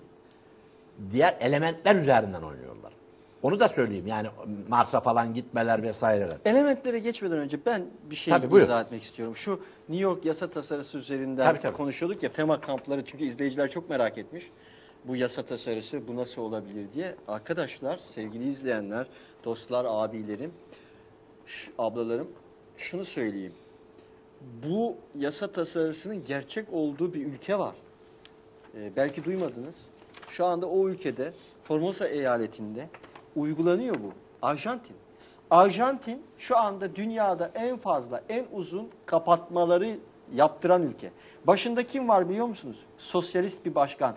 Alberto Fernandez. Alberto Fernandez hükümeti şu anda kök söktürüyor Arjantin halkına. Ve Arjantin şu anda iç karışıklıkla boğuşuyor. Sırf bu Alberto Fernandez hükümeti yüzünden. Ve bu hükümet en sonunda kiliselere müdahale ediyor. Ardından bakın çok ilginç bir biçimde Küba ile ortaklık kurmaya çalışıyor Alberto Fernandez hükümeti. Kapatmalar konusunda anlaşmışlar. Küba ile maske, kapanma vesaire. Yani Küba'da bu işin içerisine girmiş vaziyette ve şu anda iki ülkede çok büyük iç karışıklıklar var. Bir Arjantin şu an kaynıyor. iki Küba. Küba'dan da çok bahsediliyor mu haberlerde gördünüz mü bu aralar bilmiyorum. Küba'da de- deniyor ki çeteler e, sokağa indi. Hayır efendim çetelerden ziyade halk. Çünkü bu iki hükümet şu anda halkına çok büyük bir baskı yapıyor kapatmalarla ilgili. Ardından şunu da söyleyeyim. Arjantin Muhalefet Partisi, eski başkan Macri'nin partisi, Buenos Aires Belediye Başkanı yani, Buenos Aires e, şehrine erişimi kapatacağını duyurmuştu 22 Mayıs'ta. ve e, ev sakinlerinin kurallara uyup uymadığını kontrol etmek için tam 5000 kişilik ekip hazırlamış. Kapatmalardan sonra. Ve muhalif parti olmasına rağmen. Şimdi Arjantin'de gazetecilik yapan aynı zamanda Brezilya olaylarını da takip eden bir hanımefendi var. Oradan izliyorum olayları. Diyor ki en acısı da diyor muhalefet ve iktidarın Arjantin'de kapanmalar konusunda aynı şeyi düşünmesi diyor. Bakın Türkiye örneği Türkiye gibi. örneği. Türkiye örneği. En acısı da diyor muhalefet ve iktidar kapanmalar konusunda aynı şeyi düşünüyor. Her diyor. Ve öyle. Arjantin Her halkı öyle. fakirleşiyor diyor. Bakın ardından bakın demiş ki Alberto Fernandez e, 19 Mayıs'ta demiş daha bunu. E, C5N kanalına verdiği röportajda kongrenin kendisine pandemiyi yönetmede süper güçler verecek yasayı geçirmemesi halinde süper güçler verecek yasayı geçirmemesi halinde acil gereklilik kararnameleri aracılığıyla dolaşımı kısıtlamaya devam edeceğini ilan etmiş Alberto Fernandez, sosyalist. Şimdi oradan şuraya geleyim, Türkiye'ye geleyim. Bilir ki e, bizim seyircilerimiz biz iç siyasete pek girmeyiz. Yani pek değil hiç girmeyiz. Ama e, baktığımızda e, bir analiz yapıyorum sevgili seyircilerimiz. E, Cumhuriyet Halk Partisi'ne yakın gazetelere bakıyorsunuz e, ki e, benim de e, her gün okuduğum Cumhuriyet Gazetesi Ülker'in finanse ettiği, Ülker grubunun finanse ettiği Harvard Üniversitesi 50 milyon dolar şey yaptılar. Hotamışlıgil hocayı getirdiler. Hotamışlıgil'den getirdiler diyorum. Mülakat yaptı Cumhuriyet Gazetesi. Adam nasıl kapanmayı savunuyor biliyor musun? Aşıları savunuyor. Hotamışlıgil. Hotamışlıgil'in ne çalışma yaptığını neyse bir başka programda Ama anlatırım. çünkü bu sosyalist Alberto Fernandez ve sosyalist Küba'dan bahsettiğimiz zaman şunu anlıyoruz ki bunlar kapanmaları en fazla destekleyen ülkeler. Tabii. Şimdi CHP falan diyoruz ya veya muhalefet dediğimiz zaman bunlar da sosyalist ya. Şimdi elimde bakın güya sol, sol, sol ya ama kararları tek bir yerden alıyorlar. Güvencesizlik, yeni eşitsizlikler ve çözüm yolları konferansı özet raporu ve sonuç bildirgesi. İstanbul Büyükşehir Belediyesi'nin 2-4 Haziran tarihlerinde Tabii. yaptığı konferans. Şimdi bu Sonuç bildirgesini oku bakalım. Evet okula, okuyalım mı sonuç Okuyun. bildirgesini? İstanbul Büyükşehir Belediyesi Ekrem İmamoğlu'nun nezaretinde açılmış. Bakın ne diyor burada? Sonuç bildirgesi hocam. Konferans diyor ki İstanbul Büyükşehir Belediye Ba- Başkanı Ekrem İmamoğlu'nun açılış konuşmasıyla başladı vesaire vesaire. Diyor ki en sonunda Profesör Doktor Çağlar Kayder ve Profesör Doktor Gamze Yücesan Özdemir'in katılımıyla gerçekleşen pandemi değişen emek ve rejimi, emek rejimi ve güvencesizlik temalı birinci oturumda pandemi sürecinde ortaya çıkan mağduriyetlerin tartışılmasının yanı sıra sosyal yardımların ve ekonomik desteğin yetersizliği ele alındı. Mevcut sorunların çözümü noktasında ise temel gelir ve vatandaşlık geliri uygulamasının önemine E, dikkat savunuyor bunu. çekildi. Ben bunu doktorlarla tartıştım. Serdar Savaş bana bir özür borçlular. Serdar Savaş ardından Hikaye Yavuz, Yavuz Dizdar bana özür borçlusunuz. Çünkü ben bunu anlattığımda benim karşıma çıkıp ne dediniz bana? Birisi dedi ki Serdar Savaş bundan çok iyi film olur dedi, dizi olur dedi. Vatandaşlık maaşı geliyor dediğimde utan şimdi al bunu sana atayım. Al artık nasıl kullanacaksan kullan bu belgeyi. İkincisi Sayın Yavuz Dizdar sürekli bir böyle oluyorsunuz bir böyle olun. Ya bir dik durun da yani benim yanımda başka konuştunuz orada başka Şimdi konuştunuz şimdi başka Bak. yerde başka konuşuyorsunuz. Benim yanımda konuşurken aman hocam olmaz öyle şeyler bunları sakın konuşmayın diyordunuz.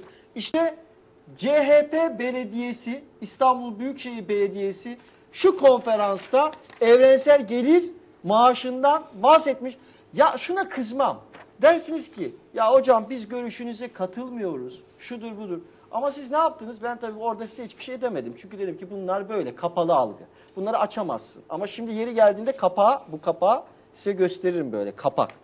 Ve o zaman sen bana ne, ne nasıl bir saygısızlık?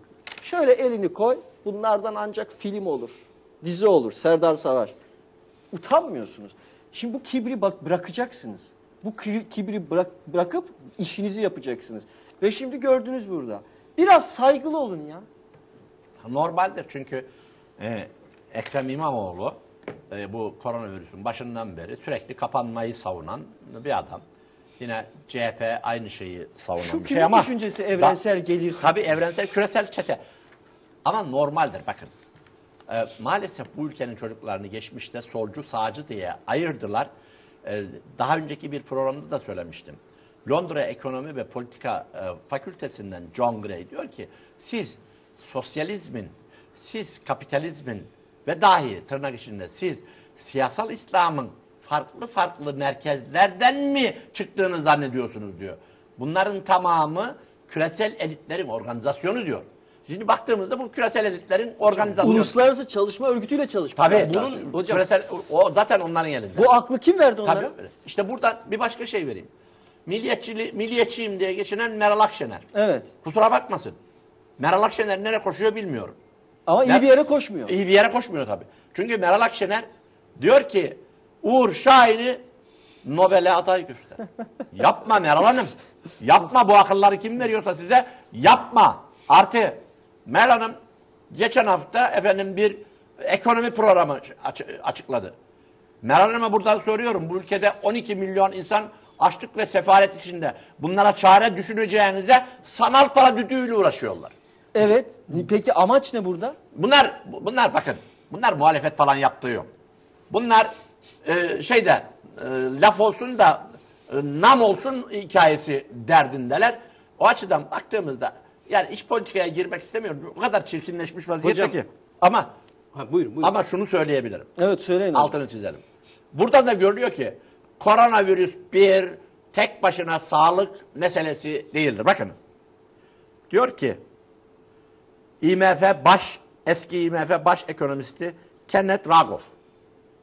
Nakit paranın dünya genelinde ortadan kalkması hem kaçınılmaz hem iyi bir gelişme diyor.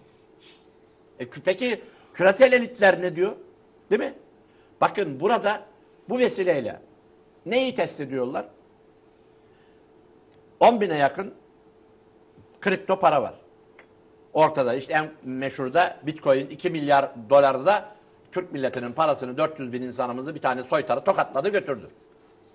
Ama burada test edilen HES koduyla efendim kripto paralarla blok zincir test ediliyor. Çünkü Evet.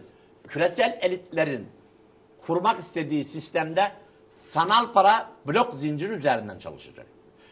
Küresel elitlerin kontrol etmek istediği, maymuna çevirmek istediği insanlar kontrol mekanizması blok zincir üzerinden çalışacak. Efendim insanları Evrensel gelir maaşı da blok zinciri. Bravo. Evrensel gelir maaşı düdüğü de blok zinciri üzerinden çalışılıyor. Artı International ID dedikleri küresel vatandaşlık kimliği de bunun üzerinden ID 2020 evet. çalışıyor. 2020. İşte buradan baktığımızda Ama şunu soruyor şimdi izleyiciler soru. Demiş ki hocam evrensel gelir maaşının ne kötülüğü var ki demiş. Oturduğumuz yerden para alacağız. Şey e, tek merkezden yönetilen kö- e, kölelik sistemi. milli bakın. Sorakin'in bir kez bir- bir- bir daha önceki Parayı veren yönetir. Evet. Sorakin diye e, Amerikalı, Polonyasılı bir sosyolog vardır. Orada da çok namuslu insanlar vardır. Der ki beni şeref ve haysiyetime verdiğim değerden dolayı öldüğümde mezarıma dikine ayaklarımın üzerine gömsünler diyor. Biz Türk milleti olarak şerefli bir milletin çocuklarıyız bir bir şey bedavaysa illeti vardır. Bugün internetle gelinen nokta bir illettir. Bugün New York Times gazetesinde bile bir hanımefendi gazeteci biz bu darbeyi niye konuşmuyoruz diyor. Çünkü epistemik yani bilgi tekeriyle diyor sözünü ettiğimiz 5 teknopoli şirketi bunun Çin'de de karşılığı var. Bunlar diyor milli devletlerin, ulus devletlerin altını oyuyor. Zaten milli devletlerin en önemli egemenlik hakkı olan parayı elinden almak istiyor. Beylik hakkını elinden almak istiyor. Hocam tam bu noktada sizi destekleyen Parayı veren düdüğü çalar Tabii. diyorsun. Yeri gelmişken dedin ya. Tabii, bu- tabii. Bak bakın bu internetle yazılımla olan şirketler pek dünyanın yönetimiyle ilgili değilmiş gibi gözüküp ama esasında bu yönetimin yani küresel yönetimin temel merkezini oluşturuyor. Bakın Evet. hem hocamın dediği yor- yerden bir şey söyleyeyim. Şimdi Google biliyorsunuz bugün en çok kullanılan arama motoru. Tabii. Hepimiz kullanıyoruz. Tabii hepimiz. Aynen. Şimdi 2010 yılında hocam çok ilginç bir program, bir proje başlatıyor. Adı IDs yani fikirler isimli bir proje başlatıyor ki bizzat e, Google'un o dönemki CEO'su Eric Schmidt tarafından başlatılıyor. Şimdi bakın. E, projenin başına da öyle bir isim getiriyor ki öyle bir isim getiriyor ki tartışmalı, çok enteresan.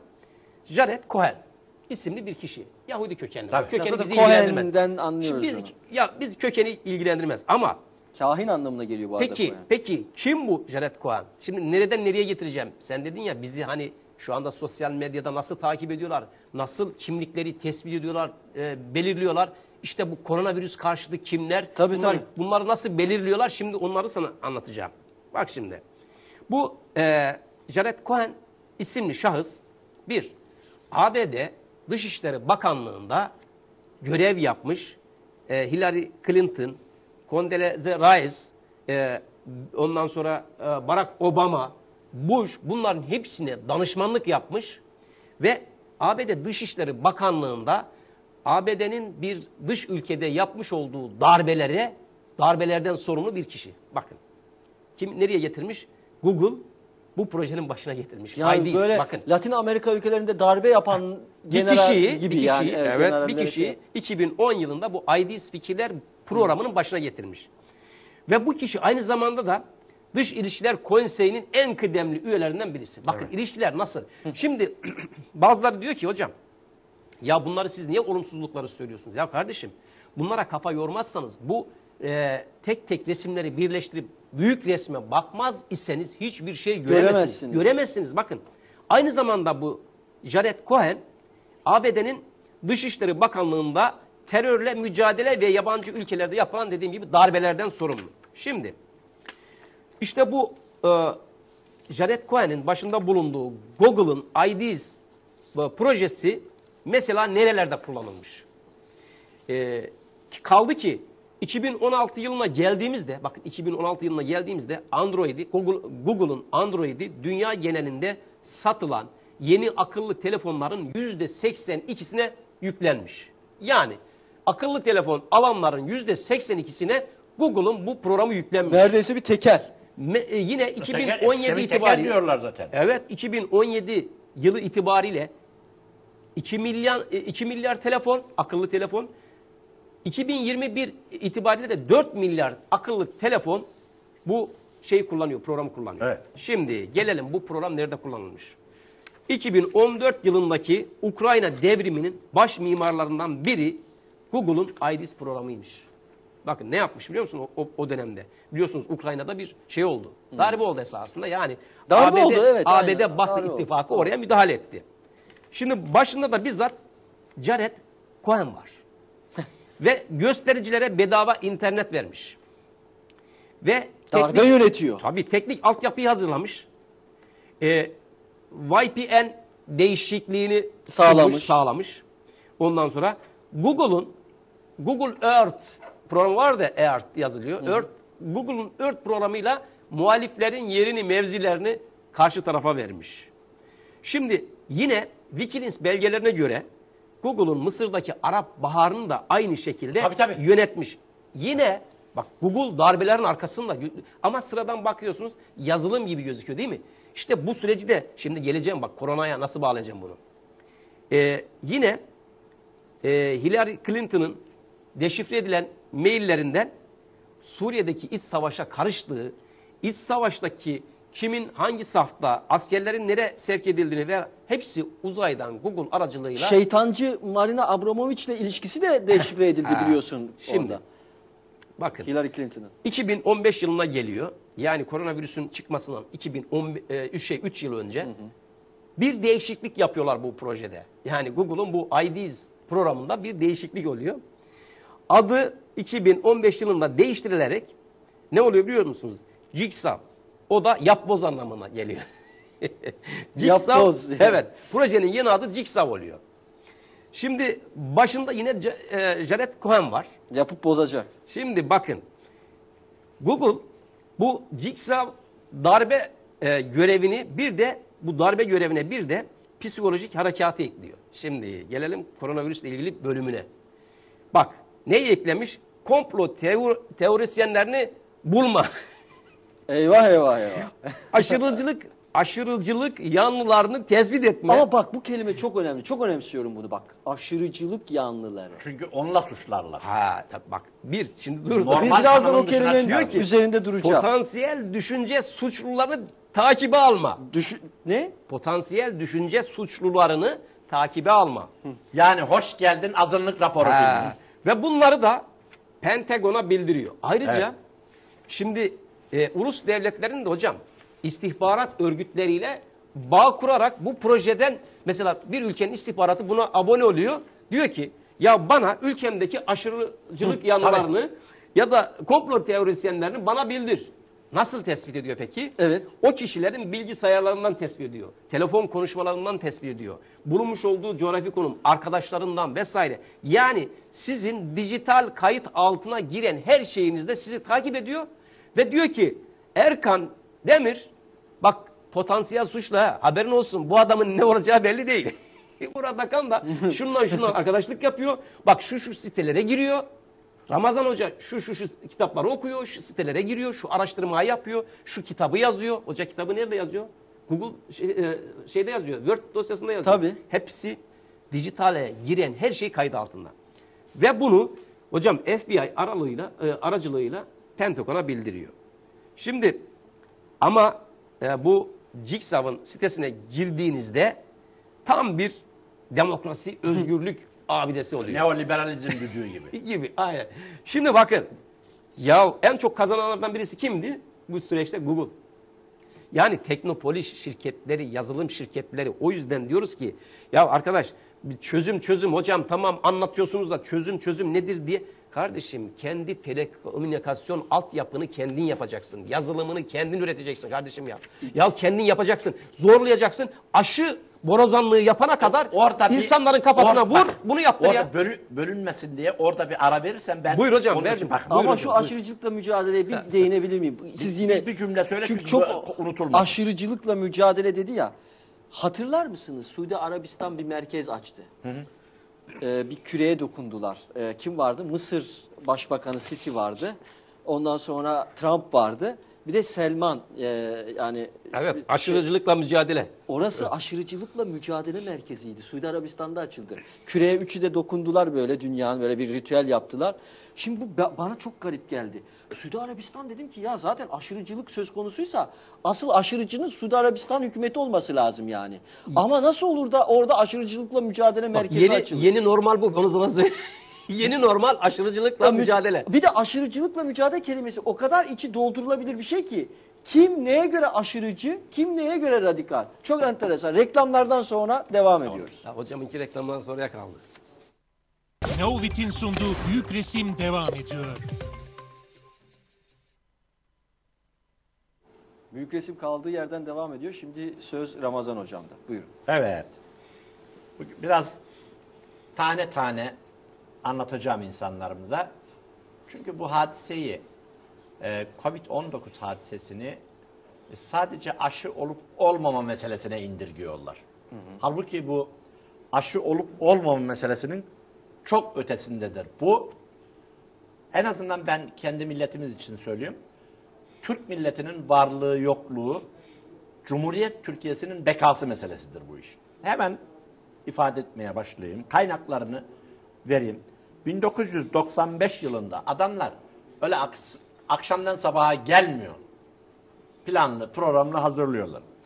1995 yılında Nicholas Negroponte'nin Dijital Dünya Türkçesiyle Being Digital diye bir kitabı vardı. Bu kitapta e, bugünkü olan bütün hepsi anlatılıyor.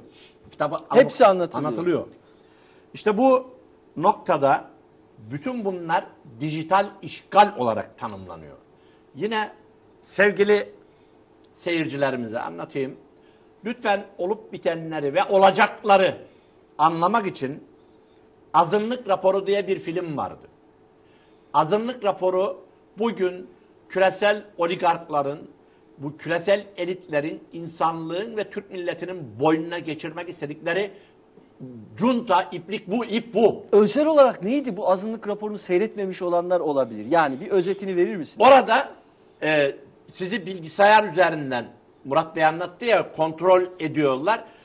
e, bir kişi sizin suç işleyeceğiniz kanaatine varıyor. Bilgisayar mı buna karar veriyor? Ta- Tabii bilgisayar üzerinden karar veriyor ve Tom Cruise oynuyordu galiba. evet Tom Cruise oynanıyor. Sonra gidip adamın tepesine biniyorlardı. Aynı o sistem işte bu ID istediğimiz bugün- Jigsaw programı yapıyor. Bugün azınlık raporu azınlık raporu e, hemen hemen bir de Yüzüklerin Efendisi filmi vardır. Orada her şeyi gören göz vardır. Palantir. Şu anda CIA ve Google azınlık raporu ve bu Yüzüklerin Efendisi'ndeki her şeyi gören gözü hayata geçirmiş vaziyetteler. Yazılımlar ile sizin kullandığınız cep telefonlarından, bilgisayarlardan sizin aşırılardan olup olmadığınıza ki imparatorlukları koca Osmanlı Türk İmparatorluğunu daha çok hürriyet mavrasıyla yediler. 1978 Washington mutabakatından sonra dayatılan neoliberalizmle daha çok demokrasi diyerek ülkeleri, milli devletleri paramparça ettiler. Ve bugün de bunlara direnen herkese aşırıcılar damgasını vuruyorlar. Aşırıcılar. Evet. Biz de aşırıcılar. aşırıcı mıyız? Onlara göre. Hayatım boyunca hiç aşırı olmadı. ha, Türk milletini sevmekse Aşırı seviyoruz. Seviyorum. Aynen. Eğer Müslüman olmaksa Aşırı- aşırıyım. Evet, Evet. dinimi seviyorum. sorgulamaksa Peygamberimi sevmek, Mustafa Kemal'i sevmek, sorgulamak aşırılacaksa aşırı. Aşırı aynen öyle. Yani bu, bu Şüpheciysek bu konuda da aşırı e, benim dinim zaten şüpheci. Aynen öyle. Mu- yanılmıyorsam Muhammed e, a- e, suresi ayet 19. Araştırın, öğrenin, öyle iman edin diyor. Aklınızı işletmiyor musunuz Evet. diyor defalarca. İşte bu noktada Aynen. 2010 yılında Amerika Birleşik Devletleri Senatosu'nda bakın Amerika Birleşik Devletleri Senatosu'nda gizli konulu bir oturum tertiplendi. Oturumu tertipleyen senatör Clary McCaskill diyor ki bu teknopoli üzerinden tezgahlanan dijital işgal davranışsal hedefleme faaliyetlerini çok endişe verici olarak buluyorum diyor. Dijital işgal diyor. Evet dijital. İşte bu noktada. Devam edeceğim. Ağır ağır. Bugün sindire sünde şunu Fatma teyzeme Muharrem amcama anlatayım. Müsaade edin. 2015 yılında Google şirketinin kurucuları Sergey Brin ve Larry Page'in başkanlığında Alphabet adı verilen yeni bir şirket kuruldu. Aslında artık Google alfabetin alt birimi. Alfabet bunun üstünde bir Evet, kurum. evet, evet. Alfabetin gayesi insan tabiatını, yaptığımız işleri, insan vücudunu oluşturan unsurları ve beynimizin çalışma biçimini geliştirmek istiyor. Kamuoyuna böyle söylüyorlar. Yersen. Ve Yani arkasından sizi üst bir e, konuma taşıyacağız. Sizi formatlayıp e, daha iyi bir versiyonunuzu yapacağız diyor. diyorlar ki şeyden süper hafızalar getireceğiz. Yani hafızamız yetersiz diyor. yetersiz getireceğiz diyor. Devam ediyorum. Alfabetin sadece bir şirket olarak görülmesinin doğru olmadığına inanan Sergey, Sergey Brin ve Larry Page kurucular yani alfabetin emin adımlarla geleceğe doğru ilerleyen bağımsız bir devlet olduğunu söylüyorlar. Neydi? Epistemik çöküş. Ulus devletler için tehlikeli diyorduk.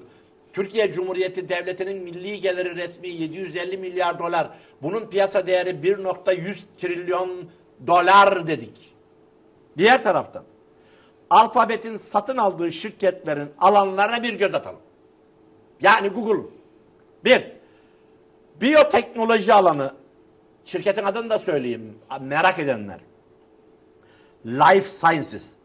Uzun ömürlülüğün ve ebedi hayatın sırrını çözmeye. Kaliko. Girsinler baksınlar not alsınlar. Artı, bu bu uzak- arada sizin kitabınızın bilgisi mi bunlar? Evet. Onu da tanıtalım. Ee, Akıl Sağlığı Tsunamisi kitabında bulabilirsiniz. Ee, çok değerli bilgiler var bu kitapta. Sayın izleyenler e, bu kitabı alabilirler. Keyifle okusunlar. Artık ne kadar keyifle okuyacaklar çünkü içerisinde çok e, maalesef Ta- olumsuz e, haberler var Hayır, ama ben- bilgilenecekler. Ama Allah'ın peygamberi, mensubu olduğumuz dinin peygamberi, sevgili peygamberimiz düşmanın silahıyla silahlanınız diyor. Kafamızı kuma gömmenin anlamı yok. Çünkü şurada Dede Ağaç'ta şeye sınırımızda 70 kilometre mesafede binlerce şey mekanik ağır vasıta şeyler tanklar Bekliyor. bekliyor. hazırda. Peki Kitabın ismini bir daha verir misiniz izleyicilerimizden? akıl sağlığı tsunamisi. Akıl Sağlığı Tsunamisi destek yayınlarından Ha. çıktı. Ee, kitap evet gözüküyor şu anda. Ee, alabilirsiniz. Son derece bilgi dolu bir kitap. Ee, bilgileneceksiniz. Evet. Şurada İstanbul bugün 300 bin, 300 bin sağlıksız yapısı ile, konut ile, mesken ile Allah korusun teknoloji teknoloji diyoruz. Bu teknolojilerin içinde en tehlikeli olan ha, Harp. HARP, High Active Auroral Research yani yüksek manyetik silahlanma silahlarından biri olan bununla İstanbul'umuzun Marmara'mızdaki bir deprem kuşağı tetiklenir ise İstanbul çöker ise Dede Ağaç'taki zırhlı araçlar ne yapar? Girer. Trakya üzerinden girer. E, Millennium Challenge operasyonunu biliyorsunuz. Biliyorum. Yani 2000 yılında Tabii. Millennium Challenge adı altında bir tatbikat düzenledi Amerika Birleşik Devletleri'nde ve neydi hocam tatbikat? Üç tarafı Denizle çevrili. başkenti e, ile daha doğrusu ticaret şehri başkentinden daha büyük olan Evet. E, bir şehire de giriliyordu. Bir Evet. ada ülkesiyle sorunu olan. yani Bir çevresi- ada ülkesiyle de sorunu olan. Evet. Neyse o evet. Millennium Ve Challenge- ama nasıl oluyordu Millennium Challenge? Her şey bir depremle başlıyordu. Evet. Komplo teoriler diye Mel Gibson, Mel Ge- şeyin e, bir Gibson'ın filmi vardı. Mel Gibson. Mel Gibson'ın filmi vardı. Oradaki hikaye aynı çıktı. Şimdi bunlara komplo teoristleri falan demesinler. Göstere göstere. Biraz önce söyledim. Azınlık raporunu söyledim. Yüzüklerin Efendisi'ni söyledim. Palantir'i söyledim. Bugün hayata geçti. İzleyicilerimizde şu sorular var. Hocam son zamanlarda son iki haftada Anadolu'da deprem hareketliliği arttı. Acaba diyorlar bu deprem hareketliliği İstanbul'daki depremi tetiklemek için e, bir Bak. unsur mu? Net olarak bir şey söyleyeyim. Şüphelerimi söylüyorum. Türkiye, Türkiye Cumhuriyeti Devleti'nin bekası için. Bakın Türkiye iktidarıyla muhalefetiyle Allah aşkına şu çekişmeden bıktık artık ya. Bıktık. İktidarıyla muhalefetiyle Marmara'ya, Karadeniz'e yani Anadolu'nun içine alarak açık söyleyeyim NATO'yla tatbikat falan yapmasınlar kardeşim. NATO ile tatbikat yapmasınlar. Yapmasınlar. Gitsinler Akdeniz'de yapsınlar, Ege'de yapsınlar. İçeriye almasınlar. Çünkü artık her türlü pislik tezgahlanabilir. Doğru. Sadece bir de Yunanistan'da değil tanklar, Bulgaristan'da da var. Evet. Romanya'da da var. Evet. Ukrayna bahanesiyle de Karadeniz'de çevirmek istiyorlar. Evet. Yani benim ordum kaç cephede savaşacağız? Yeni bir istiklal marşı, yazdırmasın diyor Mehmet Akif. Ama yeni bir savaşa doğru ittiriliyoruz. İşte buradan. Bakın aldığım şirketler. Alfabetin, uzay, sürücüsüz otomobiller, uçan otomobiller. Her şeyin internete taşınmasını ge- taşınması ve akıllı telefonlar. İleri seviyede drone teslimatları. Ha kargo işi artık dronlar üzerinden. Artı gelişmekte olan ülkelerde teknolojinin altyapı eksikliklerini hızlıca çözmek için kullanılması, yardım edilmesi, borçlandırılması Bu arada büyük resim hashtaginden bu sorularınızı Ve- yöneltebilirsiniz Twitter ve üzerinden. sıkı durun, sıkı durun. Bir buçuk yıldır Türkiye dahil dünyada uzaktan internet üzerinden online eğitim var değil mi? Hemen söylüyorum. Education Take örgün eğitimin yapısının değiştirilmesi. Ne zamandı bu rapor? 10 yıldır. 10 yıl önce. Evet. Örgün eğitimin yapısının Değiştirilmesi. değiştirilmesi. Education Take. Evet var. Google. Evet. Şimdi Niçin değiştirilsin peki örgün eğitim? Sazanlar yetiştirmek istiyorlar. Sazanlar. Ben şimdi 3 sömestridir öğrencimin yüzünü görmüyorum. Öğrencim benim yüzümü görmüyor. O, e, Bilgisayardan. Ben onları hiç göremiyorum zaten. Çocuklar beni görüyor. E biz de yüzlerce öğrencinin üçü beşi kalıyor. Gerisini geçiriyoruz kardeşim. Çünkü eğitimi küresel elitlerin örgün eğitimine taşıyıp kitleleri online education take ile mal haline getirmek istiyorlar. Mal haline getir. Düşünemez hale getirmek istiyorlar. Aptallaştırma. Aptallaştırmak istiyorlar. Bir başkası çevre kirliliği ve küresel ısınmaya karşı üretilen çözümler. Adamlar 2018'de kardeşim Peru Lima'da zaten bakın çipleme yoktur diyen aptallara söylüyorum. çipleme yoktur diyen aptallara söylüyorum. Bakın raporlarından.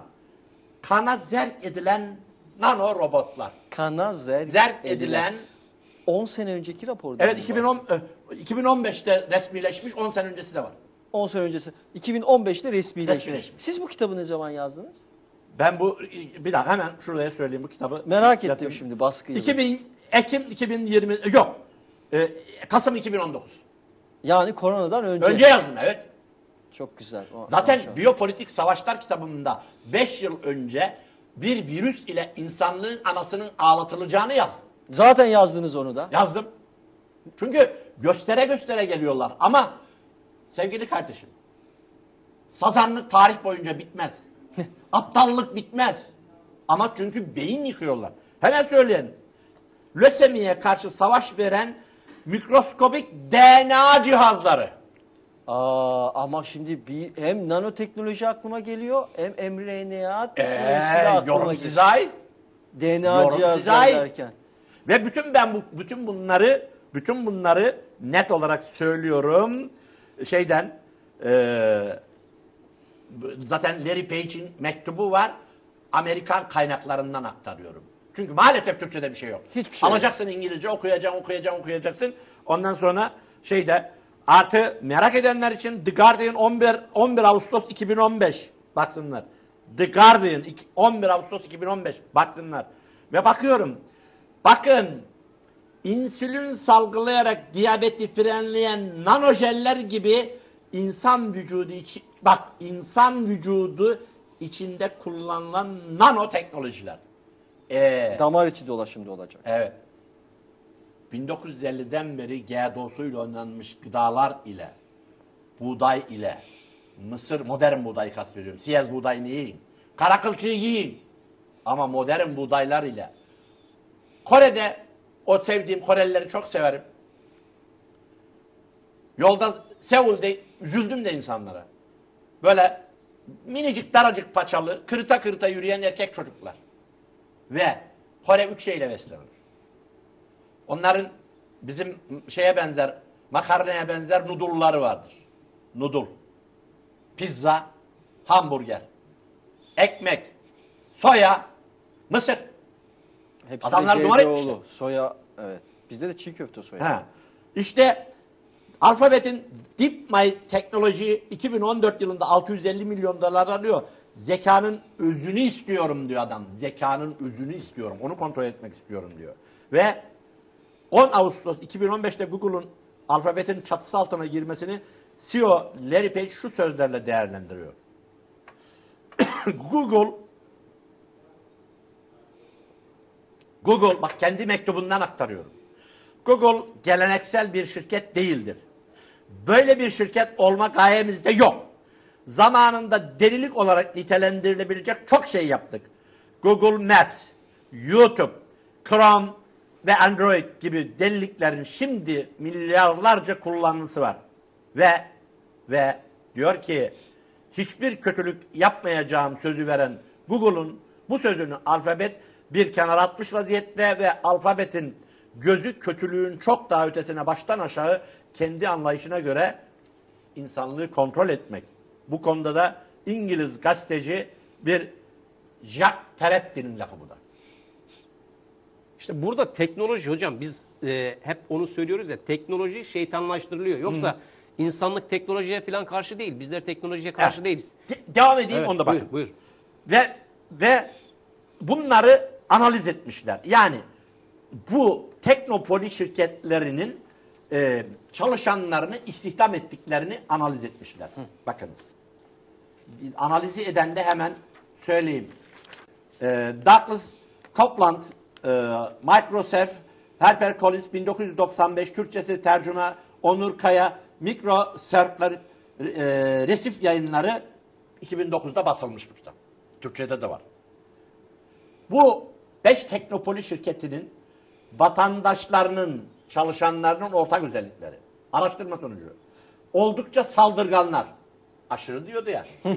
Meğerse kendileri aşırıcılık yanlısıymış.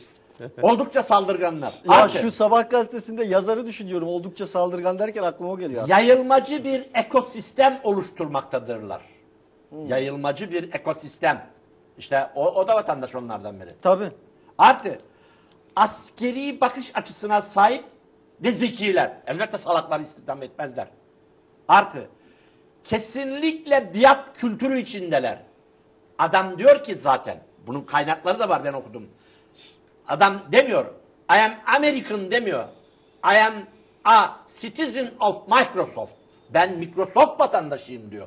Ben alfabetin vatandaşıyım diyor. Yani adam ulus devlet, milli devlet... Atmış kenara onları. Ha, tabii onları koparıyor. Çünkü zaten buralar insanlığa hükmeden noktalar. Şirket aidiyeti var. Evet. Şirketokrasi dediğimiz şey Hah, o işte. Şirketokrasi. Evet. İşte böyle bir yapı bunların tamamı kabalist, panteist eğitimden, hermetik eğitimden geçirilmiş inisiye ezoterikler. Hocam şimdi aklıma biraz alakası ama bir şey geldi. İnsiye dediniz ya. Hermetik, kabalistlik Evet. dediniz. Garipoğlu cinayeti aklıma geldi de. Şimdi şu tartışılıyor. Milliyet Gazetesi'ndeki yazıdan sonra. Biliyorsunuz onlar da Sabatayist kökenli bir aileydi. Ee, bu Kara Bulut'un, Münevver Kara Bulut'tu Evet. değil mi? Ee, öldürülen kızcağızımız. Bu Kara Bulut'un öldürüldüğü koltuk bu sefer bu aile gitmiş, o koltuğun üzerine oturmuş. Yani öldürüldü, kanını sıçradığı koltuğu almışlar, taşınırken başka yere eve götürmüşler. Evet. Koltuğun üzerine oturmuşlar. Anne, kız kardeşi yani Cem Garipoğlu'nun bütün ailesi poz vermiş gülerek. O Olabilir. koltuğun üzerinde. Olabilir. Bu ayinsel bir poz olabilir Tabii, mi? Tabii, tabii. Ayin dediğiniz için aklıma Tabii, geldi. Bakınız. Şimdi bir başka bilgi akla, şey yapacağım. Bu güç merkezi, bakınız. Bu güç merkezi 2016 yılında dünyanın en büyük meşhur 10 şirketinin 5'i bu Teknopoli şirketi. 2016'da yapılan araştırmada. Ve dijital altyapısıyla bütün diğer şirketleri kontrol ediyorlar, ulus devletleri kontrol ediyorlar gerek milli ekonomilerin, gerekse küresel ticaretin bel bağladığı vazgeçilmez olan cep telefonları, sosyal ağlar, internet, bulut, perakende ve lojistik, gelecekteki icatlar için gerekli olan veri, işlem gücü ve hızı her şey bu şirketlerin kontrolü altında. Açıkçası şöyle söyleyeyim. Bu adamlar Manjo bir hususa dikkat çekiyor. Kim Manjo? Farhat Manjo te- bu teknopoli şirketlerini anlatan New York Times 20 Ocak 2016'da yazdığı bir yazdı. Diyor ki bu adamlar, diyor ki 2012 yılında yazıyor bu adam. Pardon 2016 yılında. Otomotiv, sağlık, perakende, nakliye, film, müzik, bankaların yerini ele geçirme. Bu adamlar insanı kontrol etmek istiyorlar diyor. Hala bütün bunlardan sonra salak salak bu koronavirüsün aşı meselesinin bir sağlık meselesi olduğunu söyleyen varsa söyleyeceğim bir şey yok. Peki bütün bunlardan sonra e, Ray Kurzweil'in iki, İnsanlık 2.0 kitabı vardı. Seneler önce yazdı Evet. bu kitabı. Bu kitapta insanların nano partiküller vasıtasıyla içerisi, içerisinde zerk edilmesiyle insanoğlunun dönüştürüleceğini ve cyborg haline geleceğini yani yeni bir e, hibrit insan türünün oluşacağını ve Tanrı'nın yarattığı insandan daha üstün bir insan haline getirileceğini söylüyordu. Evet. Ve bu ek olarak da şunu söyledi. İnsanlar şunda çok yanılıyor diyordu. Yani diyorlardı ki e, şu anda teknolojinin 50 sene önceki gelişimine bakarak değerlendiriyorlar. Diyorlar ki böyle nano parçacıkların insan içerisinde dolaşacağı bir dönem ancak 100 sene sonra olabilir. Çünkü son 50 sene içerisindeki gelişmeler şu hızda devam etmişti. Bu hızda devam ederse o halde 100 sene sonra ancak böyle olabilir. Ama Ray Kurzweil şöyle bir cevap verdi onlara. Dedi ki arkadaşlar yanıldığınız bir nokta var. Teknoloji geliştikçe hız da artıyor. Yani üzerine bir şey koyma hızı da artıyor. 2020'ye geldiğimizde dedi nanopartiküllerin insan içerisinde dolaşmaya başladığı bir dönemi yaşayacağız Evet. zaten dedi. Şimdi sorum şu. Adam söylüyor zaten yani. Peki söylüyor zaten. so- soru şu. Bizim bilgimiz dahilinde olmadan e, bazı insanlar da bilinçsizce denek olarak kullanılıyor olabilirler mi? Nanopartiküller bir bazı kere net insanlar olarak şunu söyleyeyim. mRNA ve DNA aşıları topyekun insanlığı kopay olarak kullanıyor. Ve Aşı içe- değil zaten bunlar, aşı denekler. içeriğinde nanopartiküller olabilir mi? Zaten şu anda radyo sinyalleriyle e, 2019 yılında MIT dediğimiz Massachusetts Institute of Technology Üniversitesi dünyanın en iyi üniversitelerinden, mühendislik okullarından biri 2019 yılında yılında kuantum mürekkep diye bir sıvı çipleme sisteminin patenti alındı zaten. Sıvı çipleme sistemi zaten var. Evet. Ee, bu Radyo da sinyalleriyle Şimdi kontrol bu edebiliyorum. çip meselesi peki radyo sinyalleriyle nasıl kontrol edecek? Mesela şu so- soru soruluyor. Yani şimdi bir düğmeye basacaklar, sinyal gönderecekler. Adam zombi mi olacak? Mümkün. Bakın o zaman çok güzel bir yer geldi. Üç yıl önce, belki dört yıl, Amerika'da bir ameliyata katıldı. Ameliyat, lüks bir ameliyathane.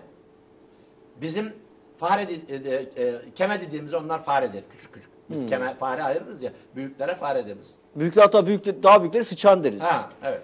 İşte o sıçan dedikleri o kü- küçük kemeciklere efendim girdiğim ameliyette bir e, mikroskop o mikroskopun bir buçuk milyon dolar olduğunu gördüm. Bir buçuk Bir milyon, buçuk milyon dolar. Geliyor kocaman bir şey tık diye böyle indiriyor. Burada gözün görmeyeceği bir teknoloji var. Orada ben ameliyat kıyafetleri içinde seyirciyim. Dekan arkadaşım orada, bölüm başkan arkadaşım orada. O kemecikleri, farecikleri getirdiler. Ondan sonra saç tüylerini aldılar. Ondan sonra önce şey yaptılar, narkozu verdiler. Tüylerini aldılar. Sonra özel aletlerle adeta bir insana gösterilen itimam ile aynı şekilde kafatasını açtılar. Ben o ameliyata kadar bilmemek ayıp değil, öğrenmemek ayıp. Bilmiyordum ama araştırıyorum. İnsan beyninin kafatasının içinde bir yerlere bağlı olduğunu, sinapti dediler, bağlı olduğunu zannederdim. Hayır, adeta yumurtanın sarısının beyazın içinde gire- gel git olduğu gibi insan beyni bir sıvının içinde, jölenin içinde. Hocaya da Muhafaza ediliyor sanki. o. muhafaza ediliyor. Allah öyle bir kudret ki yani zaten insan beynini yani bir, herhangi bir şeyin beynini gören e, e, Allah'a yok diyen aptaldır zaten. Yani Allah'ın varlığı o kadar ortada ki ayan beyan. Ve e, hocaya sordum niye böyle sayın hocam dedim. Dedi ki bu kafatasında bir yere bağlı olsa bir darbe anında bağ kopabilir, zedelenebilir ama böyle jöle kayıyor. İşte Allah böyle muhteşem bir sistem. varlık yaratmış. Evet. Ve Frekansa geleceğiz buradan Ha. unutmayın. oradan oradan gözle görülemeyecek. Da ben görmüyorum ama o bir buçuk milyonluk mikroskopun altında altından yapılmış çipleri Altından yapılmış. Evet. Çipleri. Demek ki bugün ona da gerek yok. Çipleri fareci, kemeci beyninin farklı loblarına yerleştirdiler. Tık tık tık. Sonra efendim kapattılar kafatasını. Sonra kulağının dibinden efendim dibinden e, bir 3-4 gün be, bes- beslemek üzere bir boru taktılar. 3-4 gün beslediler vesaire. Ben dönmeden bir gün önce e, bana yemek verdiler. Benim benimle de ilgilenmelerinin en önemli sebebi yani bir tanışıklığımızın ötesinde benim Nörofinans diye bir kitabım var. Bu, e, bu çok ilgi gören bir kitap. Nörofinans, davranış ekonomisi diye. Çünkü yıllarca insanlar, kapitalistler dediler ki insanlar rasyonel düşünür. 200 yıldır böyle dediler, insanlara kakadılar. Ama 2017 yılında Richard Taylor diye bir amca, Amerikalı bir ekonomist ki ben bu kitabımı ondan önce yazdım. Ama ben Türk öğretim üyesi olduğum için Kıymet bilinmiyor. ben, bizim bende görülmedi. Richard Ta- Taylor dedi ki vallahi dedi insanlar rasyonel falan değildir. E insanlar karısıyla kavga edip etmemeye, havanın güneşli olup olmamasına, yağmurlu olup olmamasına, borcunun taksidinin gelip gelmemesine bağlı olarak Değişir. insanlar psikolojik sahiplerle karar verir. Dediler he vallahi doğru. Al amca sen bunu dediğin için 1 milyon 100 bin dolar da sana güle güle harca dediler. Bana mı? Bana da öpücük verdiler. ha, şimdi buradan gelelim. Kapattılar. Benim dönmeme bir gün kala dediler ki bir yemek yiyeceğiz. Neyse 10 kadar kişi var yuvarlak kocaman bir masa lüks bir restoran. Orada ameliyatı yapan asistanlardan birine dediler ki hadi bakalım şu hocaya bir şov yapın. Çıkardılar tableti. Tık çıkardılar tableti. Düğmeye bastılar. internete bağlandı tablet. Sonra bir düğmeye daha bastılar. Küt diye ekrana farecik geldi. Mışıl mışıl uyuyor. Nerede? Üniversitenin, fakültenin laboratuvarında. Bir düğmeye bastılar. Fare uyandı. Bir düğmeye daha bastılar. O kadar karmaşık sistemler içinden Harvard Üniversitesi'nin bir lafı vardır. Peynirimi kim yürüttü? diye. işletme tabiridir bu. Peynirimi kim yürüttü? Fare gitti. Zıp zıp zıp zıp zıp. Gitti köşede peyniri de buldu. Afiyetle yedi. Bugün de biz yedik burada peyniri. Yedik domates de var. Domates. Bugün peynir domatesle Evet, beslendi. domates. Evet. Ondan sonra bir düğmeye daha bastılar. Fareye dediler ki bu kadar çok yedi. Biraz spor yaptılar. Cıkkıdı cıkkıdı cıkkıdı cıkkıdı. Fareyi biraz oynattılar. Dediler ki artık yoruldu. Bir düğmeye bastılar. Fare gitti. Yattı. E peki bunlar fareyi eğitmek için mi bunu kullanıyor? Peki bunu fareye yapan insan insana ne yapar? Ya Hoca Aynısı dediler ki, daha da kötü. Hocalar bunun biri. Dediler ki aynen şunu. Hocam genetik ve biyoteknolojideki gelişmeler bizi korkutuyor. Ya. 2017'de hani bu Peki çip bu tarih çip ne meselesi zamandı var ya, o zaman? O çip Tarih- meselesi, Dört yıl önce. 4 yıl önce. çip Buyurun. meselesiyle ilgili bir şey söyleyeyim. Hani hep gündeme geldiğinde şöyle derler ya çip mi takacaklar insanlara ya bırakın bu işleri falan diye. Hocam 2017 yılında Gates bu aile planlaması adı altında kadınlara bir çip takma meselesi var. Yapmış bu projeyi geliştirmiş. Yani 16 yıl boyunca nüfus planlaması adı altında e, karın bölgesine deri altına, kalça e, deri altına ve kol deri altına çip yapmış. Bu proje var. Ve e, bunu e, araştırdığımda ya acaba gerçek mi değil mi baktım. E, Bill Gates, Melinda Bill Gates Vakfı'nın sitesinde bu şey var. Sponsorluğu var. Yani şimdi Evet takacaklar ya. 2017 yılında takmış zaten. Takmış zaten. Hemen bir şey daha 2017 yılında seniteyi de takmış zaten. söyleyeyim. 1969'da küresel elitler aynen şunu söylüyor. Gelecek 50 yılda bebekleri yatak odasından laboratuvar alacağız diyor. Hocam sizin şu deepfake'i unutmayalım. Deepfake Anlatayım, evet. teknoloji O- o dünya zaman nereye, dünya nereye gidiyor Evet. derken mesela o da çok önemli bir teknolojik gelişme. Çünkü teknolojik gelişme gerçekten olsun ama şeytanlaştırılmasın. Tabii karşı falan değiliz ama ben insanlığın aleyhine kullanılmasına Evet. karşıyım. O deepfake olayı Peki ben ilginç. deepfake'den önce şu soruyu sorayım. Şi- hangi üniversitede siz bunu e, şey yapmıştınız, izlemiştiniz hocam? Amerika'da mı? Evet. Hangi? Üniversitenin adını söylemeyeyim şimdi. Hocalar zor durumda kalmasın. Ha sizi normalde yasal prosedüre uygun olmadan mı soktular oraya? Hayır uygun da ama üniversitenin adını söylemeyeyim. Yani oradaki bilgiyi almış olurum. Anladım. Peki şöyle bir soru sorayım o zaman. Ama Chicago'daki üniversiteler. Chicago'da bir üniversitedeydi. Evet. Tamam. Şimdi şöyle siz bunu gördünüz. Gördüm. Ee, farenin hareketlerini gördünüz. Ta- Hepsini gördüm internetten gördüm. Bunu ilk gördüğünüzde bir dehşete kapıldınız mı? Kapıldım tabii. Ben şunu söyledim. Bir laf vardır. Rahmetli Tarık Buran'ın da galiba bir romanı vardır. Gençliğim eyvah diye. Bunu okumuştum fakülte yılları. Peki öğretmen okulu yılları. e, şimdi diyorsunuz ki o zaman e, bazı e, aşılarla veya bazı aşı da olmasa işte aşağıda sıvı zaten bu. Başka noktalarla size damar içine bazı nano parçacıklar yükleyebilirler. Aşı demeye gerek yok. Damarınıza zerk edilen ki e, şöyle söyleyeyim. Post teknoloji bir tıp geliyor. Hiçbir devletin altından kalkamayacağı pahalı ilaçlar devri geliyor. E, vücuda zerk edilen nano ilaçlar devri geliyor. Akıllı ilaç mı deniyor bunlara? Vallahi ben akıllı ilaç mı diyeyim ama milli devletleri batıran insanları delirten ilaçlar geliyor. Delirten ilaçlar geliyor. Peki hocam şimdi deepfake teknolojisini konuşacağız. Evet, konuşalım. Çünkü deepfake teknolojisiyle birlikte artık gerçekle gerçek dışı kaynaşmaya başladı. Neyin gerçek neyin gerçek dışı olduğunu anlayamamaya başladık. Bu gidişat nereye gidecek ve bu teknoloji neye hizmet ediyor? Bir kere Murat hocam da bu arada biraz kaytarıyor ama. Yok hocamı dinliyorum merakla izleyin.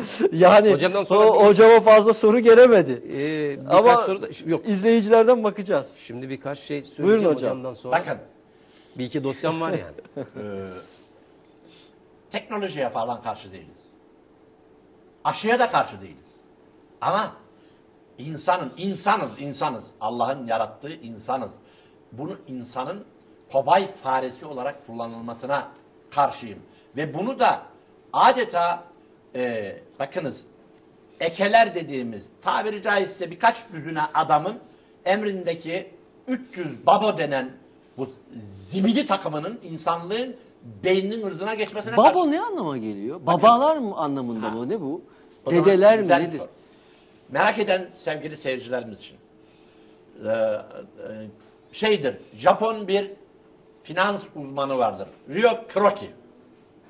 Onun onun Wall Street kartalını vurun diye bir kitabı vardır. Türkçe'ye böyle çevrildi. Ryo Kuroki kendisi finansçıdır. Japondur. Wall Street kartalını vurun deden kitapta aslında Türkiye'yi anlatır 1980'den itibaren.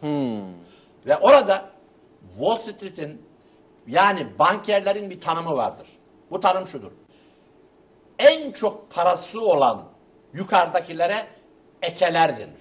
Yani haşa Tanrı'ya kafa tutan demektir. Bu adam- Eke. eke. Öyle derler.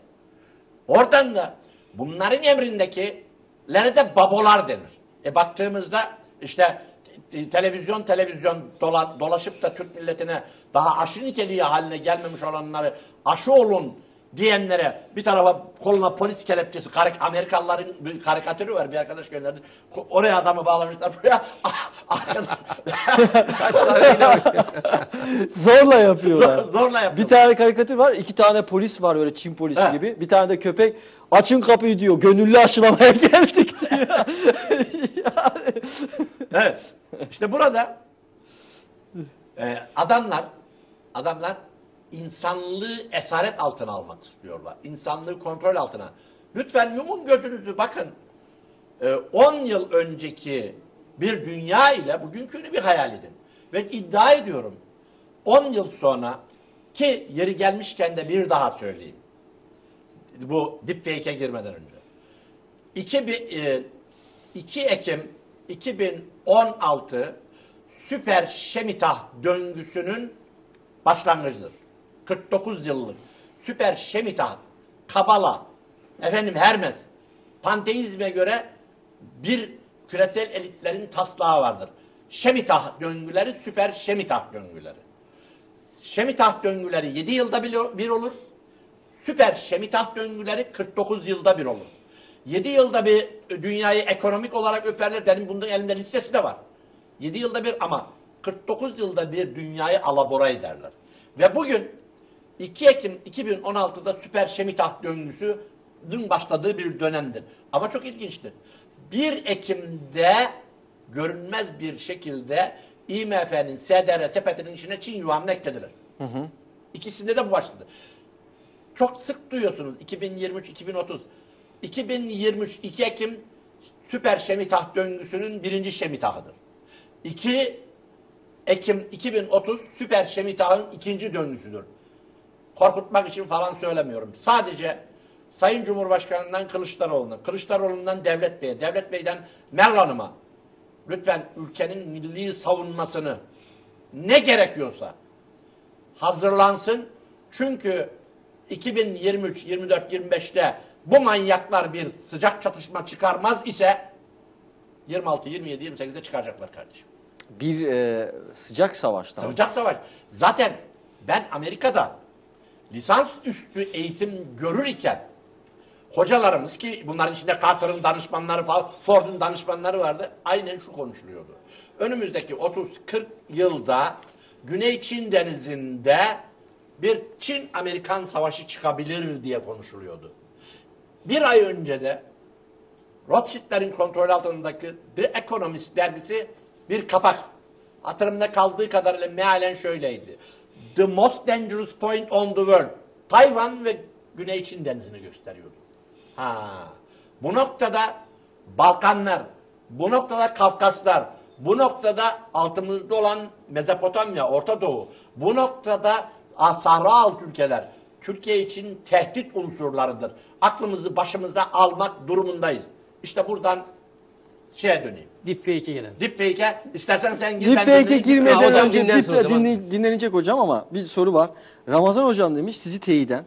Çipli farelerin arkadaşlık kurmasıyla ilgili haber bir ay kadar önce basına düştü diyor. Çipli Görmedim fareler. ama doğrudur. Evet. Düşmüştür. Ayrıca şunu söylüyor deepfake ile ilgili. Deepfake'in yeni versiyonu artık sesi de aksan ve tınısıyla birlikte taklit edebiliyor. Bu haberde bugün basına daha, düştü. Daha diyor. beterini söyleyeyim. Singapur'da bir şirket üzerinden, Singapur merkezli bir şirket üzerinden 279 koku geliştirildi. Kokuyu bile hazırlamış. Hocam Kok- onu koku bir bile hazırlanmış. Dinlensin. Ben de Tabii, bir tabii, devam şeyden et. bahsedeyim. Şimdi sadece bu teknopoli şirketleriyle işte insan beynini ya da e, insanın düşüncelerini vesaire belirlemiyorlar.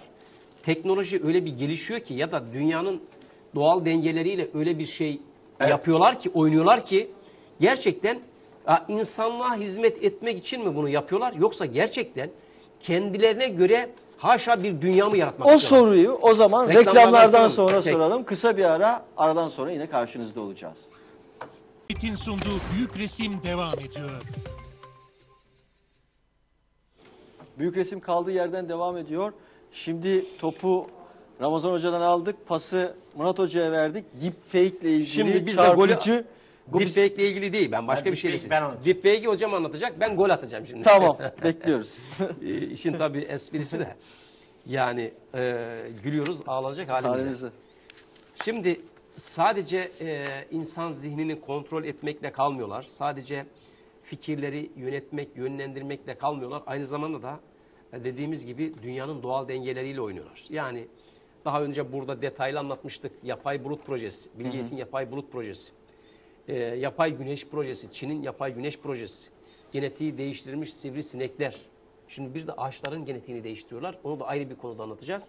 Ve şimdi gele gele geldik dünyanın doğal döngüsü uzaydaki yaşananları e, insanlar e, daha doğrusu bu bahsetmiş olduğumuz küresel şeytanlar bu dünyanın doğal dengesini nasıl değiştiriyorlar? Mesela Bunlar hep şeyi konuştuğumuz için işte aşıydı, haptı, ilaçtı, koronaydı, kapatmaydı diye diye bizleri e, bunlarla oyalarken cambaza, cambaza meselesi var ya aynısını yapıyorlar. Bak şimdi e, NASA yani ABD'nin uzay e, program çalışmalarından sorumlu kurumu e, ABD Ulusal, Ulusal Havacılık ve Uzay Dairesi çok enteresan bir deneye hazırlanıyor bugünlerde ve harıl harıl bu e, projeyi gerçekleştirmek için çalışmalar yaparken ve enteresandır çok kimseye de bilgi vermiyor. Soranlara diyorlar ki efendim işte biz dünyamıza bir e, asteroid geliyor yani gök taşı geliyor. Bu gök taşının biz yapacağımız intihar aracıyla e, bu gök taşının yönünü değiştireceğiz diyorlar. Bak şimdi yani dünyamıza milyarlarca yıldır vardı. devam eden devam eden dünyamızda birçok gök taşı düşmüş yani bu olağan. Hani doğal denge içerisinde. Hatta bu- dinozorları yok ettiği söyleniyor bir tanesini. Şimdi dünyanın e, doğal yapısında, doğal dengesinde bu var. Ve bugüne kadar da sadece Sibirya'ya 1918 yılında düşen bir gök taşı bir takım orman yangınlarına neden olmuş, ölümlere neden olmuş vesaire. Gönül ister ki hiçbir ölüme sebep olmasın. Ama burada bir şeyi deniyorlar. Ve özellikle de 2029'un adını veriyorlar. 2000 yılının adını veriyorlar. 2029'da ne olacak mesela? 2029 Aman yılı- hocam Düşün- 2030'da zaten e, bu biliyorsun Dünya Ekonomi Forumu'nun planı gerçekleşiyor. İşte o- o- ondan bahset. Bunlar da farklı bir e, farklı bir versiyonunu deniyorlar. Şimdi NASA'ya göre dünyanın yakınından geçen 26 binden fazla göktaşı varmış. 26 binden fazla göktaşı dünyanın yakınından geçiyor ama dünyaya vurmuyor ya karaya vurmuyor. Okyanusa düşüyor vesaire Veya düşmüyor. veya düşmüyor. Ee, bunların 2000'den fazlası da poten, potansiyel tehlike arz ediyorlarmış. Arz ediyormuş. NASA çalışmalarını gizli tutuyor. Bak bu konudaki çalışmalarını çok gizli tutuyor. Ancak bilim insanlarını NASA'da çalışan bilim insanları şöyle bir açıklama yapıyor. Diyor ki e, yörüngesinden çıkabilecek dev bir gök taşının dünyamızı yok etmemesi için çalışıyoruz. Yani normal resmi açıklamalar Ne kadar da iyilik severler. Evet çok ilgiseverler. Çalışıyoruz diyorlar. Büyük uzay e, kayalarını önceden tespit etmek esasında zor bir şey. Ki bunu NASA da kabul ediyor. Ani kaymalar olabiliyor. Mesela geçen yıl yani 2020'de büyük bir göktaşının dünyaya yaklaşıncaya kadar mesela NASA bile haber alamıyor. Dolayısıyla böyle bir bilinmezlik ortamında NASA şimdi bir 2022'nin sonuna doğru bir şey deneyecek. Çok önemli bir e, deney yapacak. NASA DART isimli uzay aracını Dimorphos adlı dev bir uzay kayasına çarptırmak için yani yörüngesini değiştirecek ya şimdi başka bir yöne doğru atacak bunu. Çarpıtarak çarparak yönünü değiştirecek. Buna hazırlanıyor. Bu- Evet o DART projesini biliyoruz zaten. Evet. DART tahtası gibi. Hani. Bu araç gök taşının Atıyorsun. yörüngesinden çıkarmak için tasarlanmış uzaktan kumandalı bir insansız hava aracı. Ama peki yani NASA dünyaya çarpmayacak bir gök taşının neden yörüngesini değiştiriyor? Şimdi de böyle Bir bir de soru var. çarpmayacak bir şeyi çarpacak halde getirebilir. Ha işte oraya gireceğim. Şimdi silah olarak bunu silah olarak mı deniyorlar? Mesela bu zaten. Bunlar küçük çaplı gök taşları diyorlar. Yani bu yörüngesini ilk etapta değiştireceği 2022 yılında e, deneye hazırlandıkları o gök taşı diyorlar ki küçük çaplı bir gök taşı. Onu deneyecekler ama esasında e, farklı bir projenin içerisindeler. Yani bunu söylüyorlar. İnsanlığı işte şeyden kurtaracağız. Göktaşı çarpmasından Bir kurtaracağız. diyorlar. kıyametten kurtaracağız onları diyor. Şimdi DART 2000 e, şey 23 Kasım 2022'de ki Şükran Günü haftasında gerçek. Bir de çok önemli biliyorsunuz. Serhat Fındık hocamız yine bizi dinliyorsa kulaklarını çınlatalım. Dinliyordur. Diyordu ki e, hocam, tesadüf seçilmez. e, hocam da Amerika'da yaşadı dedi ki yani e, ABD önemli gizli şeylerini, projelerini tam bu Şükran gününe denk getirir ki herkes eğlencede şurada burada tam o güne denk getirir. ya bu da o güne denk gelmiş. Yani 23 Kasım 2022'de SpaceX e, Falcon 9 Elon Musk'ın roketi. roketiyle Kaliforniya'daki e, Vandenberg Uzay Kuvvetleri üstünden fırlatacaklar bu şeyi. Elon Musk'ın roketiyle fırlatıyor. Evet aracı. Peki NASA bunu niye yapıyor? Soru sorduk. Şimdi sızıntılara göre, gelen bilgilere göre ABD'deki yazılan, çizilen makalelere ve bilim insanlarının e, ifşa ettiği şeye göre 13 Nisan 2029'da e, Apophis isimli dev bir göktaşı dünya çarpacak. Cuma gününe denk geliyor. Bu da ne, nasıl ne hikmetse kara cuma falan diyorlar ya bu da cuma gününe denk gelecekmiş. Ve 350 metre çapındaki bir göktaşının dünyaya çarpması Hangi sonucu- tarihte? e, 13 Nisan 2029. E, büyük bir felaket yaşanacağı hesaplanıyormuş.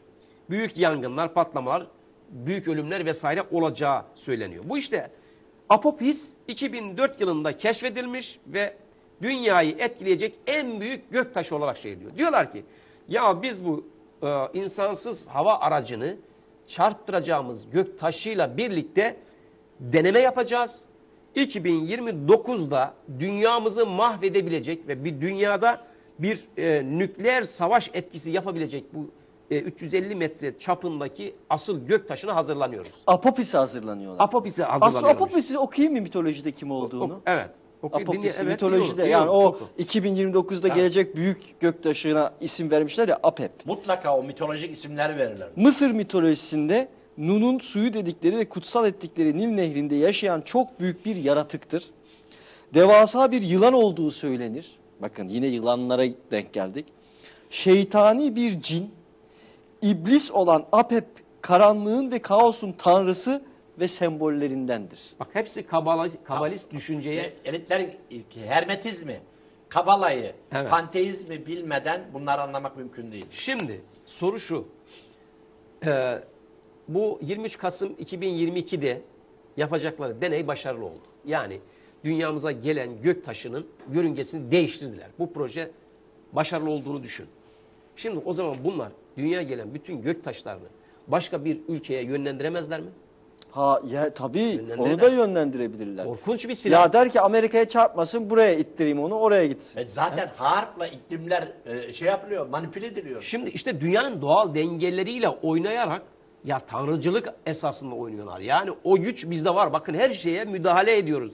Zaten öyle diyorlar ya haşa Tanrı, Allah yok diyorlar. Ta- ya tabii. kendileri bu ilahi nizamı yok sayarak kendileri yeniden bir sıfır dünya oluşturmak Gerçi hocam büyük bir göktaşı gelirse dünyanın üçte ikisi yok olur. O da ayrı bir mevzu da. Yani İşte işte diyorlar ki biz onu kurtarmak istiyoruz diyorlar. Yani dünyayı kurtarmak istiyoruz. Ama öbür taraftan Öyle bir şeyin gelme ihtimali sıfır.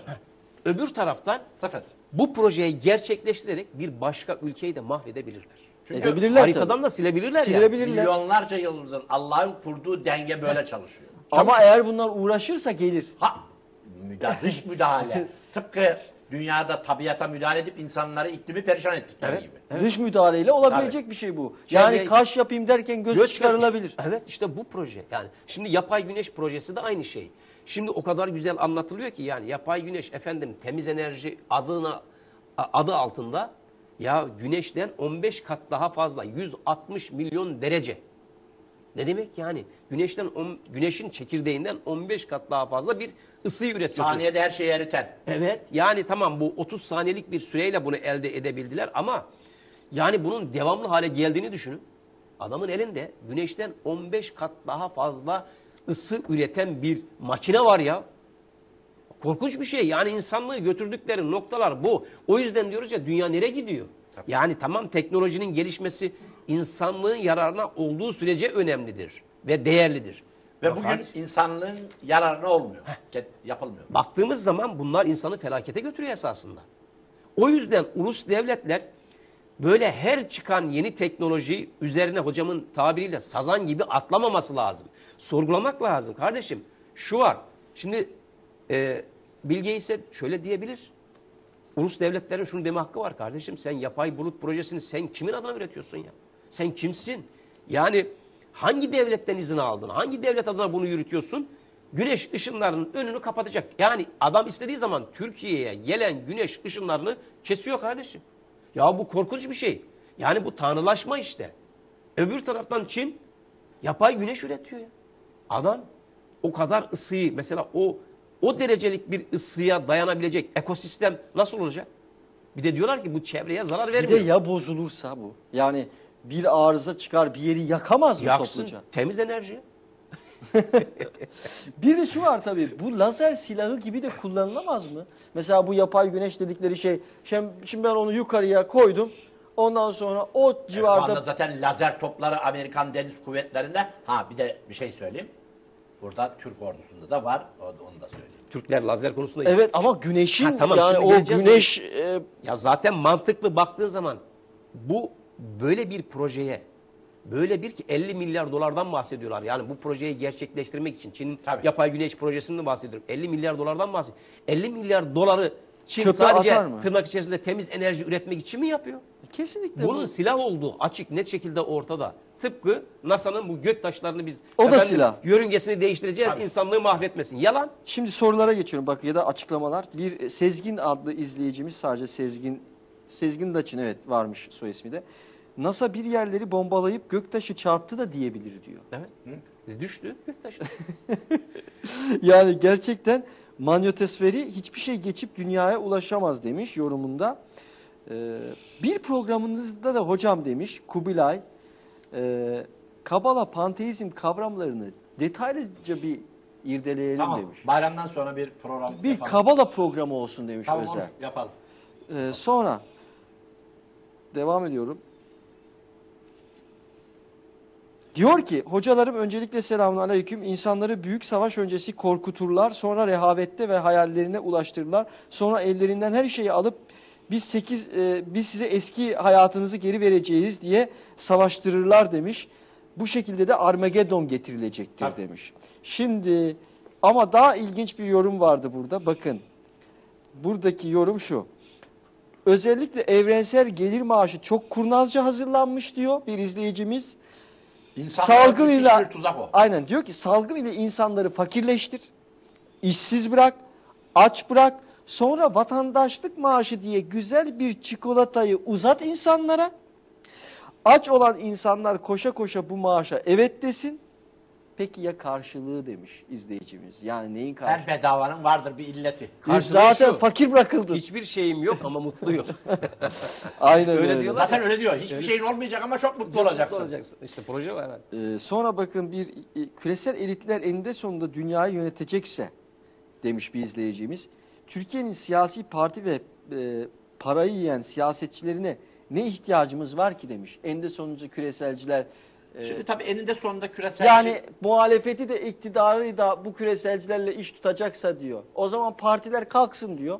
Küreselcilere verelim diyor her Günaydın, şeyi. günaydın. Tabii kardeşimiz ülkeden söylüyordur. Bu arada e, takip e, seyircilerimle Ali İhsan Bey Antalya'dan o da Murat Bey size şey yapmış. Diyor ki Murat Bey aşı adaylarının hastaneye yatışları azalttığı çıktığını iddia ediyor. Ee, bunun nedeni nocebo etkisinde olanların ve panik atak hastalarının aşıyı olunca psikolojik olarak rahatlaması olabilir mi diyor. Ben öyle iddia etmedim bak dedim ki böyle bir şey söyleseler belki Bile dedi, evet. Bile evet, Evet. bile dedim. Yani ha budur demedim yani. Tabii, böyle tabii. bir şey iddiam yok. Evet. Şimdi bir açıklama var çok ilginç. 2030 yılı planları içinde sosyal kredi sistemi var diyor. E, Şu anda Çin'de başladı. E, ve diyor ki insanlık Mars'ta daha çok kredi kazanabilir propagandasıyla Mars'ta kurulacak madenlerde çalıştırılmak üzere oraya sevk edilebilir diyor bu evrensel gelir melir Ee, kredi sistemiyle. Mars'ı küresel elitleri oraya e, taşıyıp dünyanın anasını bellemek için. Ama diyor ki dönüş için garanti verilmiyor hocam diyor. Evet. Gidiş var dönüş yok diyor Mars'ta. E, tabii. Hocam o deepfake şeyini Ha, anlatıyorum. ettim. Onu da e, söyleyelim. Son bir yorum alayım. Plan, pandeminin bitiş tarihi Mart 2025 demiş bir izleyicimiz. Kendi görüşü. Ardından iki, ama bu arada 2025 ile ilgili kendi görüşü diyoruz da belge var bitiş tarihiyle ilgili. Yani böyle bir Spars, belge de var. Spars. Evet. Var. Böyle bir Spars belge var. hayırlı uğurlu olsun. Evet 2025-28 arasında Spars geliyor demiş. İşte aynen şimdi aklıma geldi. Ee, peki demek ki diyor ha John Hopkins vesaire bilim enstitüsü simülasyonu yapmış diyor. Demek ki diyor daha virüsler çağını çok yaşayacak. Şunu e, sevgili seyircilerimize söyleyeyim. Demeye getiriyor izleyicimiz. Korkmasınlar, tedbirli olsunlar ama önümüzdeki 10 yıl e, insanlık için zor bir e, dönem olacak. Bu dönemde birbirimizle dayanışma içinde olacağız. Ama şunu da ifade edeyim, e, söylediklerimizi korkutmak için falan söylemiyoruz. Sadece tedbirli olmak için söylüyoruz.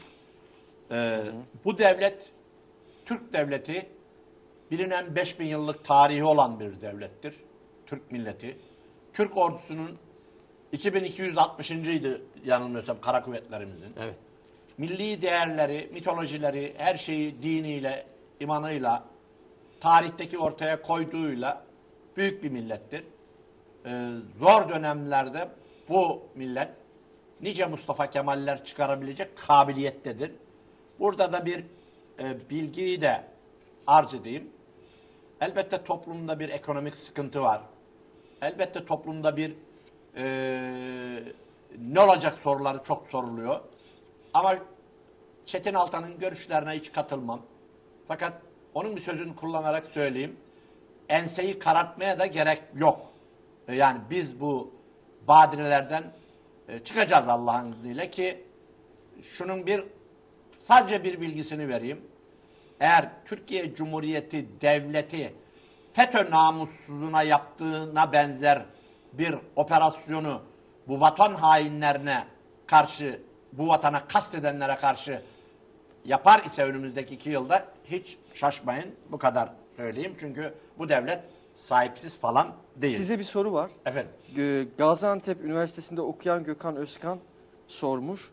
Ramazan hocama bir sorum var. Bu aşıları Türkler yaptı deyip mesela Biontech Türkiye'ye sonra ceza keserler mi demiş. Yani e, Murat Bey onu çok gündeme getiriyor. E, tabii ortada e, ne olacağı belirsiz bir aşı taslağı var. Normal bugüne kadarki aşı prosedürlerinin hiçbirine uymuyor bu. Sonunda olumsuz olduğunda bir e, Ama Türkler hukuki yaptı deyip olarak işin Türkler yaptı deyip- Türkiye'ye ceza kesemez. Türkiye bir yapmadı şey yok. sonuçta. Türkiye ceza yapamaz. kesemez ama küresel çapta bir Türk algısı pompalar. Negatif. Ha yani bir işte bu Türkler barbar böyle Ha, bizi katlediyorlar falan. işte madik attı falan filan ama Amerika'da bu e, Türkiye'de Biontech aşısı falan denildiğine bakmayın. Amerika'da bu aşıda Biontech'in adı falan geçmiyor. Pfizer'in aşısı deniyor. Tabii, Pfizer Zaten aşısı, en- evet. mRNA Pfizer'in aşısıdır.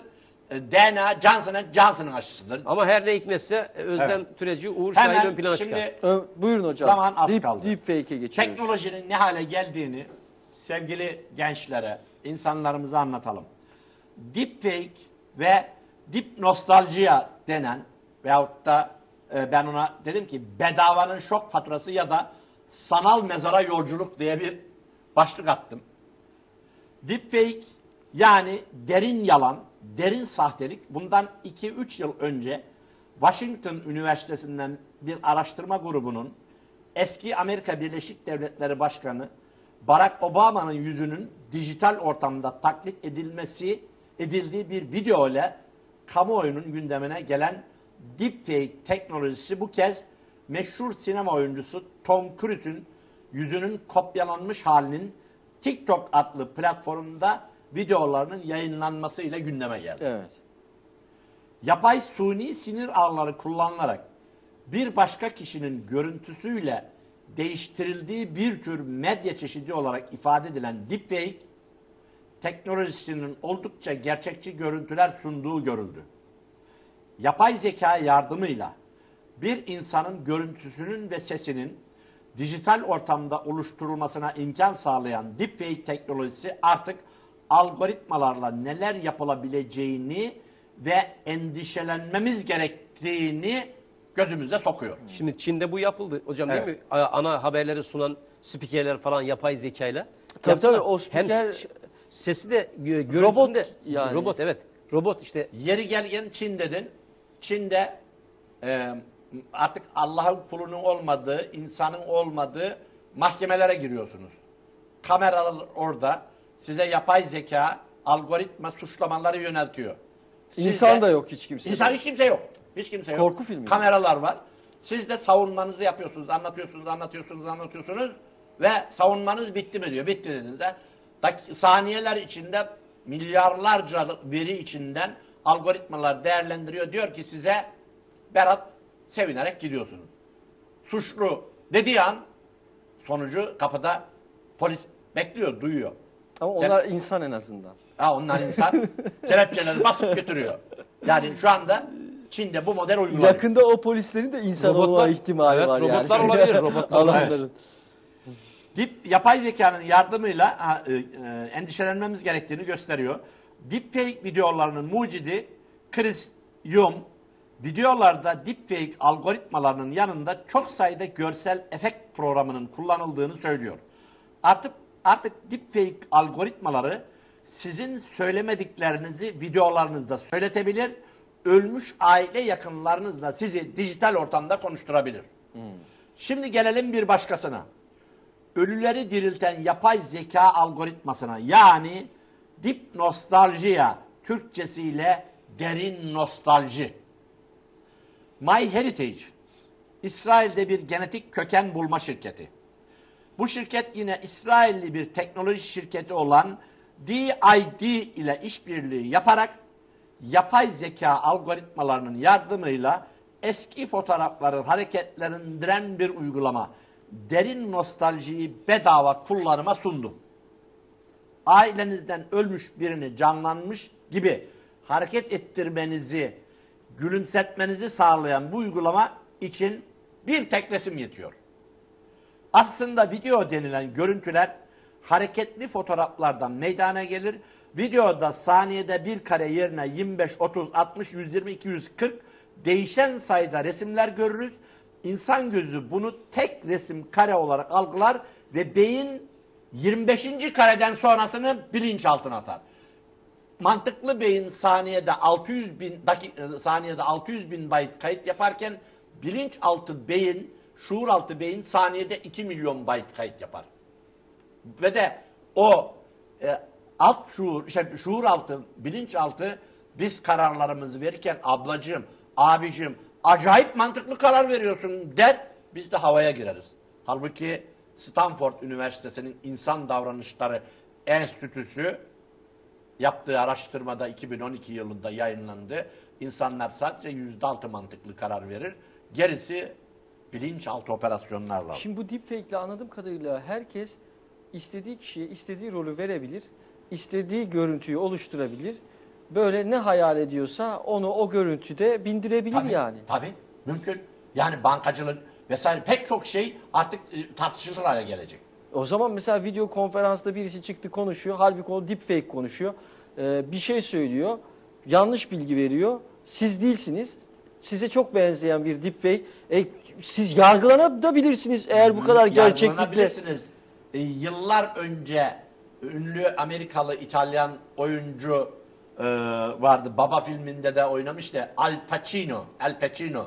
Onun Kadın Kokusu diye bir filmi vardır. Seyretsin sevgili kardeşlerimiz. Kadın Kokusu. Dans ettiği gerçek bir kadın falan değil. Öyle miydi? Ben, Ben- izlemedim evet, o Kadın filmi. Kokusu, Çok evet. meşhur bir filmdi aslında. Şimdi şeyde çıkarıyorlarmış hocam kadın kokusu derken e, robotlar bir firma e, ismi de hatırıma gelirse söyleyeyim. Firma çok önemli değil. E, o robotların dokunma hissi. Mesela e, robotlar kime dokunduğunu o e, dokunma hissi veren bir maddeyle e, farklı insanlar olduğunu anlıyor. Ha Ya- bu o değil diyor. Tabii, başka tabii. bir insan Evet, dokunuyor. Başka bir insan dokunuyor diyor. Yani kendisine kimin dokunduğunu ve kendisinin kimlere dokunduğunu, farklı insanlara dokunduğunu biliyor. Ama bu çok tehlikeli. E, insan işte insan hissi veriyorlar. Bir de şey yapıyorlar yine hocam e, özür dilerim. E, insan derisi gibi robotlara deris, derimsi madde ekliyorlar ki his his uyandırsın. Ama artık şey kavramı, ilişki kavramı değişiyor. Değişiyor işte yani. Yani artık şimdi Biraz robot önce söyledim ya. Hocam şimdi bir şey söyleyecek, 1969'da rütük- rütük arıyor. Bebekleri yatak odasından laboratuvara taşıyacağız diyordu. E, bundan Allah aşkına 20 küsur yıl önce İstanbul'da bir tek tüp bebek merkezi vardı. Şimdi bütün hastaneler. Ama şu da var o zaman. Bakın hocam şuraya dikkat çekmiyoruz. O zaman kişi robotla evlenebilir. Şimdi hissiyatta gelecek evet, ya. zaten Zaten oraya doğru Doku da olacak. Ama bu sefer in- çok insana benzer robotlarla bir ilişki kurdu diyelim. Ee, şöyle olacak o zaman. Çocuğu da tüp bebek olarak yaptı veya daha doğrusu küvezde yap olacak çocuk. O çocuğu alacak, robot annelik yapacak o çocuğa. Bir, birkaç ay Hatta anne ve baba da robot olabilir. Bak Zaten- daha da ilginç olanı şu. bu düzenin sonunda bö- böyle bir düzenin sonunda çocuk çocuk ve aile kavramı yıkılacak. Hayır öyle bir şey de yapmışlar zaten. Bak Çin'de bir robot yapmış Tabii. diyor ki haber okudum diyor ki e, oradakilerin hepsini baştan çıkarttı diye. Bak yani Robot oradaki yani, robot baştan çıkarmış. e, o işte örnek örnek robot olarak şey diyor. E, dokunma hissi, vücut yapısı falan hepsi diyor. Mesela birebir, denir ki birebir. Aile aile robot e, mesela çocuk edineceksiniz. Di- Denir ki bu çocuk küvezde doğurtulacak. Yani ana rahmi de olmayacak. Çocuğu aldık. Peki annesi babası yok. Kime verelim bunu evlatlık? İki tane lo- robota verelim. Ama Robot bu, bunları bu, bu zaten e, 300 Spartalı diye bir film çevrildi ya. E, Yunan şehir devleti Sparta'da var. Bu Azteklerde var. Yani çocuklar herkese mi ait olacak? Tabii devlet alıyor zaten. Bu sistemin sonunda zaten aile kurumunu yıkıp e, şeyi e, e, cinsel ilişkiyi sadece hedonizme çevirecekler. Adamlar nitekim daha iki ay kadar önce Amerikalı bir genetik profesörü hanımefendi açıkladı. Gelişmiş ülkelerde 2045 yılında erkek spermi sıfırlanıyor dedi. Çünkü Ha. 15 milyonun altında zaten bebek oldu. Er- erkek spermi sıfırlanıyorsa şimdi dediler ya bu e, spermlerin e, mesela aşıyla etkileşimi varmış biliyorsunuz e, deniyor ya bu. Aslında etkileşimi olduğunu şuradan anlıyoruz. Bu Bill ve Melinda Gates Vakfı'nın desteklediği bir makale vardı. Burada okuduk hatırlarsanız. Makalede deniyordu ki ya bu spermlere iyi geliyor bu aşı deniyordu. Hatırlıyor musunuz? Teşvik birimi olarak söylüyorlardır. Yalan Ama söylüyorlar. ama her ne kadar Yavuz Hoca'ya çok kızmış olsam da burada bu e, yani bir şekilde bizim saflarımıza yeniden katılmış olması iyi. Umarım bir daha ayrılıp yeniden o safa geçmez. Şimdi şunu demesi çok hoştu. Bu spermle etkileşime giriyorsa dedi Yavuz Hoca. Ya siz bunu dedi olumlu olarak göstermeye çalışıyorsunuz ama Evet. dedi şu anlama geliyor demek ki diyor. Bu spermleri etkiliyor anlamına geliyor diyor. Ne kadar da olumlu Ve kökünüzü gösterme. keseriz Aynen demek. bir noktadan sonra da demek ki indirebilir diyor. Zaten zaten 1950'den beri GDO'suyla oynanmış, kimyasal kakalanmış gıdalarla insanlık e, erkeklerdeki sperm sayıları 120-140 milyondan 70 milyonlara ortalama inmiş vaziyette gelişmiş ülkelerde. Yani insanlığın zaten kökünü kesmiş vaziyette. O zaman şu hayal değil. İki tane robot anne baba çocuğu alıp küvezden büyütebilir. mümkün. Mümkün. İşte Annen kim robot, Devam baban ediyorum. kim robot ya. Devam ediyorum bakın. Zira insan gözü saniyede 14-17 karenin üzerindeki fotoğraf karesi arasındaki geçişi algılayamaz ve beyin bunu alt lob, dedi, alt lob dediğimiz bilinçaltı bölümüne atar. Dip Nostalji adlı yapay zeka uygulaması tek kare fotoğraftan yola çıkarak videoya erişilmesi için lüzumlu olan ara basamakları yani ihtiyaç duyulan kareleri nasıl doldurulması gerektiğini tahmin eden yazılım. Bu algoritma bir tek resmi bile canlandırmayı başarı, başarabilen bir yazılım. Dip Nostalji'ye 5 adet çoğaltmaya bedava ama bundan fazlasını istiyorsanız senelik 120 dolar ödüyorsunuz. İlk günler buraya büyük bir hücum oldu ve çöktü sistem. Ama merak eden sevgili seyircilerimiz için www.myheritage.com Dip girip bakabilirler. kendi hesabınızı oluşturduktan sonra gerek web siteleri gerek mobil uygulamalar üzerinden Dip Nostaljiya aracına resim yüklüyorsunuz. Sonrasını algoritma hallediyor. Etik meselesi elbette en önemli konu ama kimse takmıyor, tınlamıyor. Saldım çayıra, Mevlam kayıra modu. Ve devam ediyorum. Uygulamanın bedava olması zaten illete gidişin başlangıcı. İnsanların soy, ağacı- soy ağacına yönelik verileri tek kalemde toplamak üzere yola çıkan İsrailli MyHeritage için sınırsız epistemik bilgi tekeli kaynağı, insanların rızasının olmadığı hiç öne, olup olmadığı önemli değil. Nitekim 2018 yılında MyHeritage 92 milyon kullanıcının e-posta adresini ve şifresini sızdırdı, gümbürtü koptu. Yapay zeka algoritmaları her geçen gün insanların özel iş hayatına daha çok giriyor. 2020 yılının sonuna doğru Microsoft ölüleri konuşturabileceği düşünülen bir patent aldı ve adına da chatbot patenti ile bu işi yapabileceğini Kim söylüyor. aldı o patenti? Microsoft. Evet. Microsoft. e, Evet. Neydi hocam ismi? Chatbot. Chatbot. Bir alkol şirketi deepfake teknolojisiyle ölmüş bir şarkıcıyı reklam videosunda oynattı. Diğer yandan Koreli bir pop şarkıcısının yapay zeka ile oluşturulmuş bir benzer- benzeri televizyonda şarkı söyledi. Ölüleri dirilten, ikizinizi yaratan yapay zeka algoritmaları insanlığı yaşarken sanal mezara koyacak. Nitekim Singapur hükümeti tarafından 2020 yılında koronavirüs COVID-19 ile mücadele için mobil uygulama ve giyilebilir cihazdan oluşan bir temas takip sisteminin faaliyete geçirildiği duyurulmuştu. Daha sonra bu bilgilerin polis tarafından soruşturmalarda kullanıldığı ortaya çıktı. Dahası anlı şanlı akıllı şehir projeleri hakkında Suudi Arabistan'daki Neom gibi giderek artan bir kitlesel şüphe oluşmuş durumda. Singapur'da Teras, Te- Teras Together adını taşıyan Bluetooth teknolojisi vasıtasıyla kullanıcılar arasındaki mesafeyi sizin haberiniz yok ölçen, karşılaştıran bizi, sizi polise ihbar eden bir sistem var. Singapur'da Smart Nation akıllı millet projesinin stratejisinin başında bulunan devlet başkanı e, bakanı Vivian Black Richmond Haziran 2020'de veriler sadece temas takibi için oluşturuluyor nokta dedi ama Mart 2021'de olay patladı. Teras Together Safe Entry 2020'de Covid-19 salgınıyla birlikte uygulamaya konulan ve yaygın olarak kullanılan check-in sistemi gibi fiyaskosu Singapur'un akıllı şehir kurma maksadıyla en ileri teknoloji geliştirme uygulama yönündeki e, stratejik planlamanın tek de masum olmadığını ortaya koydu. Singapur hükümeti 2016 yılında akıllı şehir olan GovTech adındaki bir ajans kurmuştu. Bu şehir devlet küresel finans elitlerinin Asya'daki komuta kontrol üssüdür.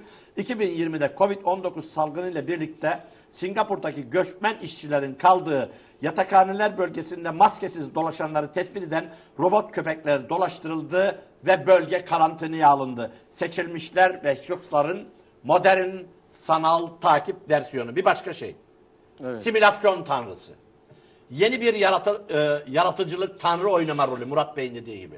iddiasıdır.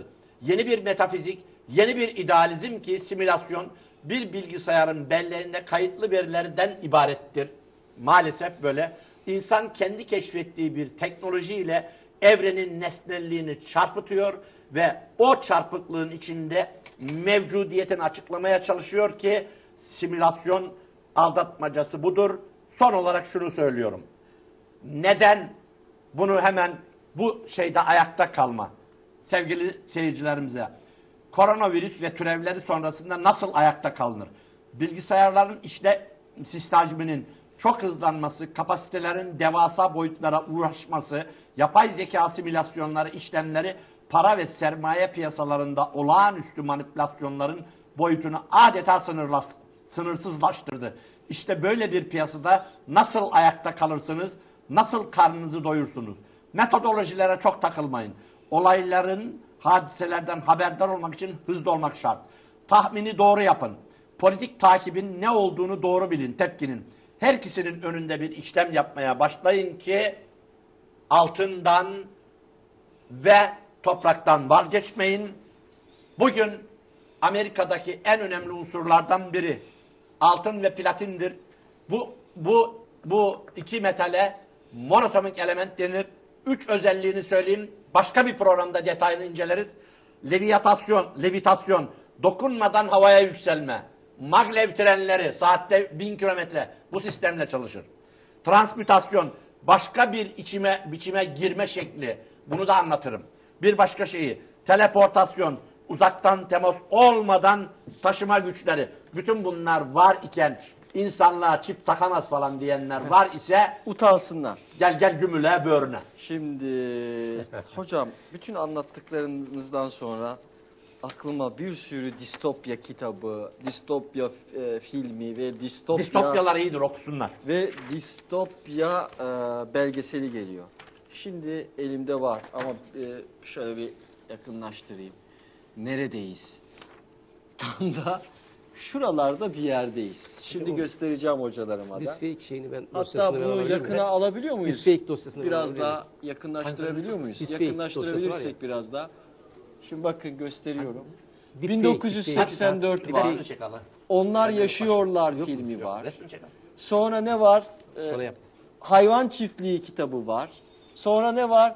Cesur Yeni Dünya var. A Otomatik Portakal var. Sonra Fahrenheit 451. Hocam izlediniz mi Fahrenheit Evet, hepsini seyrettim. 451? Ondan sonra The Matrix şurada araya Çünkü sıkılmış. elimde 6000 adet DVD Sıkışmış. sinema filmi var. Şimdi diyor ki çok ilginç bu. İç içe geçmiş bir sürü distopya var ve birileri yapmış bunu biraz trajikomik. Diyorlar ki buralardayız. Tam buradayız. Ben hatta buradayız demeyeyim de buralarda bir yerdeyiz diyeyim sizin. Hepsinin bir kesişim e, noktasındayız. Yani bütün distopyaların kesiştiği bir yerdeyiz. Hocam bakın size de göstereyim. Bunu yapmışlar. Cesur Yeni Dünya demişler. Tabii. Hayvan çiftliği demişler. Ondan sonra 1984 demişler. Onlar yaşıyorlar en büyük küme. Sonra Fahrenheit, Otomatik Portakal. Biz demişler şu anda bu distopyaların şurasındayız. Tabii. Yani hepsi her an olabilir. Elimde de bir distopya kitabı var. Ee, ben bunun filmini seyretmiştim ama kitabını e, okumak istedim. E, tabii filmi de hiç iç açıcı değildi. Seneler evvel izledim. Çok klasik bir kitap esasında. Biraz da geç kaldı. Okudum diyemeyeceğim. Okuyacağım bunu. Otomatik Portakal distopyası. Ee, bu da 1984 kadar okunması gereken bir kitap. Bir de uzaylıları e, inşallah haftaya ele alacağız uzaylı konusunu. İşte o zaman Wells'in romanlarında e, Dünyalar Savaşı. Yine kim oynamıştı hocam? Yine mi Tom Cruise? Evet. Dünyalar Savaşı'nda Tom Cruise oynamıştı. Zannediyorum. Yine böyle filmlerde hep Tom Cruise oynar. Bir izleyicimiz de Tom yazmış. Cruise onların adamıdır çünkü. E, diyor ki ya bu Tom Cruise'u hiç sevmedim diyor. Hep böyle filmlerde oynuyor. Ne kadar şeytani film Scientology varsa. tarikatının en önde gelenlerindendir. İşte dünyalar. Şeyde de oynadı. Ice White Shot, gözleri tamamen kapalı. Evet. Ta- tapınak şövalyeleri On- filmi. onda da oynadı. Hazırlık yapıyoruz ama gitmek üzere. Şöyle söyleyelim. Bu distopyalar şu anda e, gerçekleşmek üzere maalesef ve bunlardan uyanışımız için öncelikle okumamız gerekiyor. İkincisi de tabii bir bilgi sahibi olduktan sonra da kendimize has bir fikrimizin olması gerekiyor diye düşünüyorum. Bu arada elimde 1918 yılına ait bir görsel var. 1918 e, İspanyol gribine ait. Bakın Hmm, evet. maskeler ne diyor? Maskeni bir maske tak ya da hapse gir diyor. Bakın. Ya da hücreye tıkıl diyor. Bir maske tak ya da hücreye tıkıl. Yani o politikalar o zamanlarda denenmiş. İspanyol gribinde de denenmiş. Ee, şu anda da 100 yıl önceki başarısız olan politikayı bu sefer dijital sistemi kurarak başarılı hale getirmeye çalışıyorlar. Yani hocamın dediği gibi bu akıl yeni bir akıl değil. Çok eski bir akıl. Yeniden Mesela e, dünyayı bu, yönetmeye çalışıyor. e, sosyalist sistem e, Hazreti İsa'nın e, Ha- Hazreti Meryem annesinin olduğu Meryem Hazreti Meryem'in de içinde bulunduğu Esseniler tarikatı var Yahut tarikatı. Orada denenik zaten toplumsal sosyalizm. Sosyalizme karşı mısınız hocam? Sosyalizm diye bir düzen yok ki. Hayvan çiftliğini şimdi atıfta O, o hayvan bulunacaksınız. çiftliğinde aynen şöyle der. Bütün hayvanlar eşittir, domuzlar daha eşit. Daha eşittir. Ama şimdi kapanışı yaparken e, bakın sosyalizmi bize kim öneriyor? Dünya Ekonomi Forumu öneriyor. Bir de İstanbul Belediyesi Kent Konseyi öneriyor. Şimdi ne diyorlar?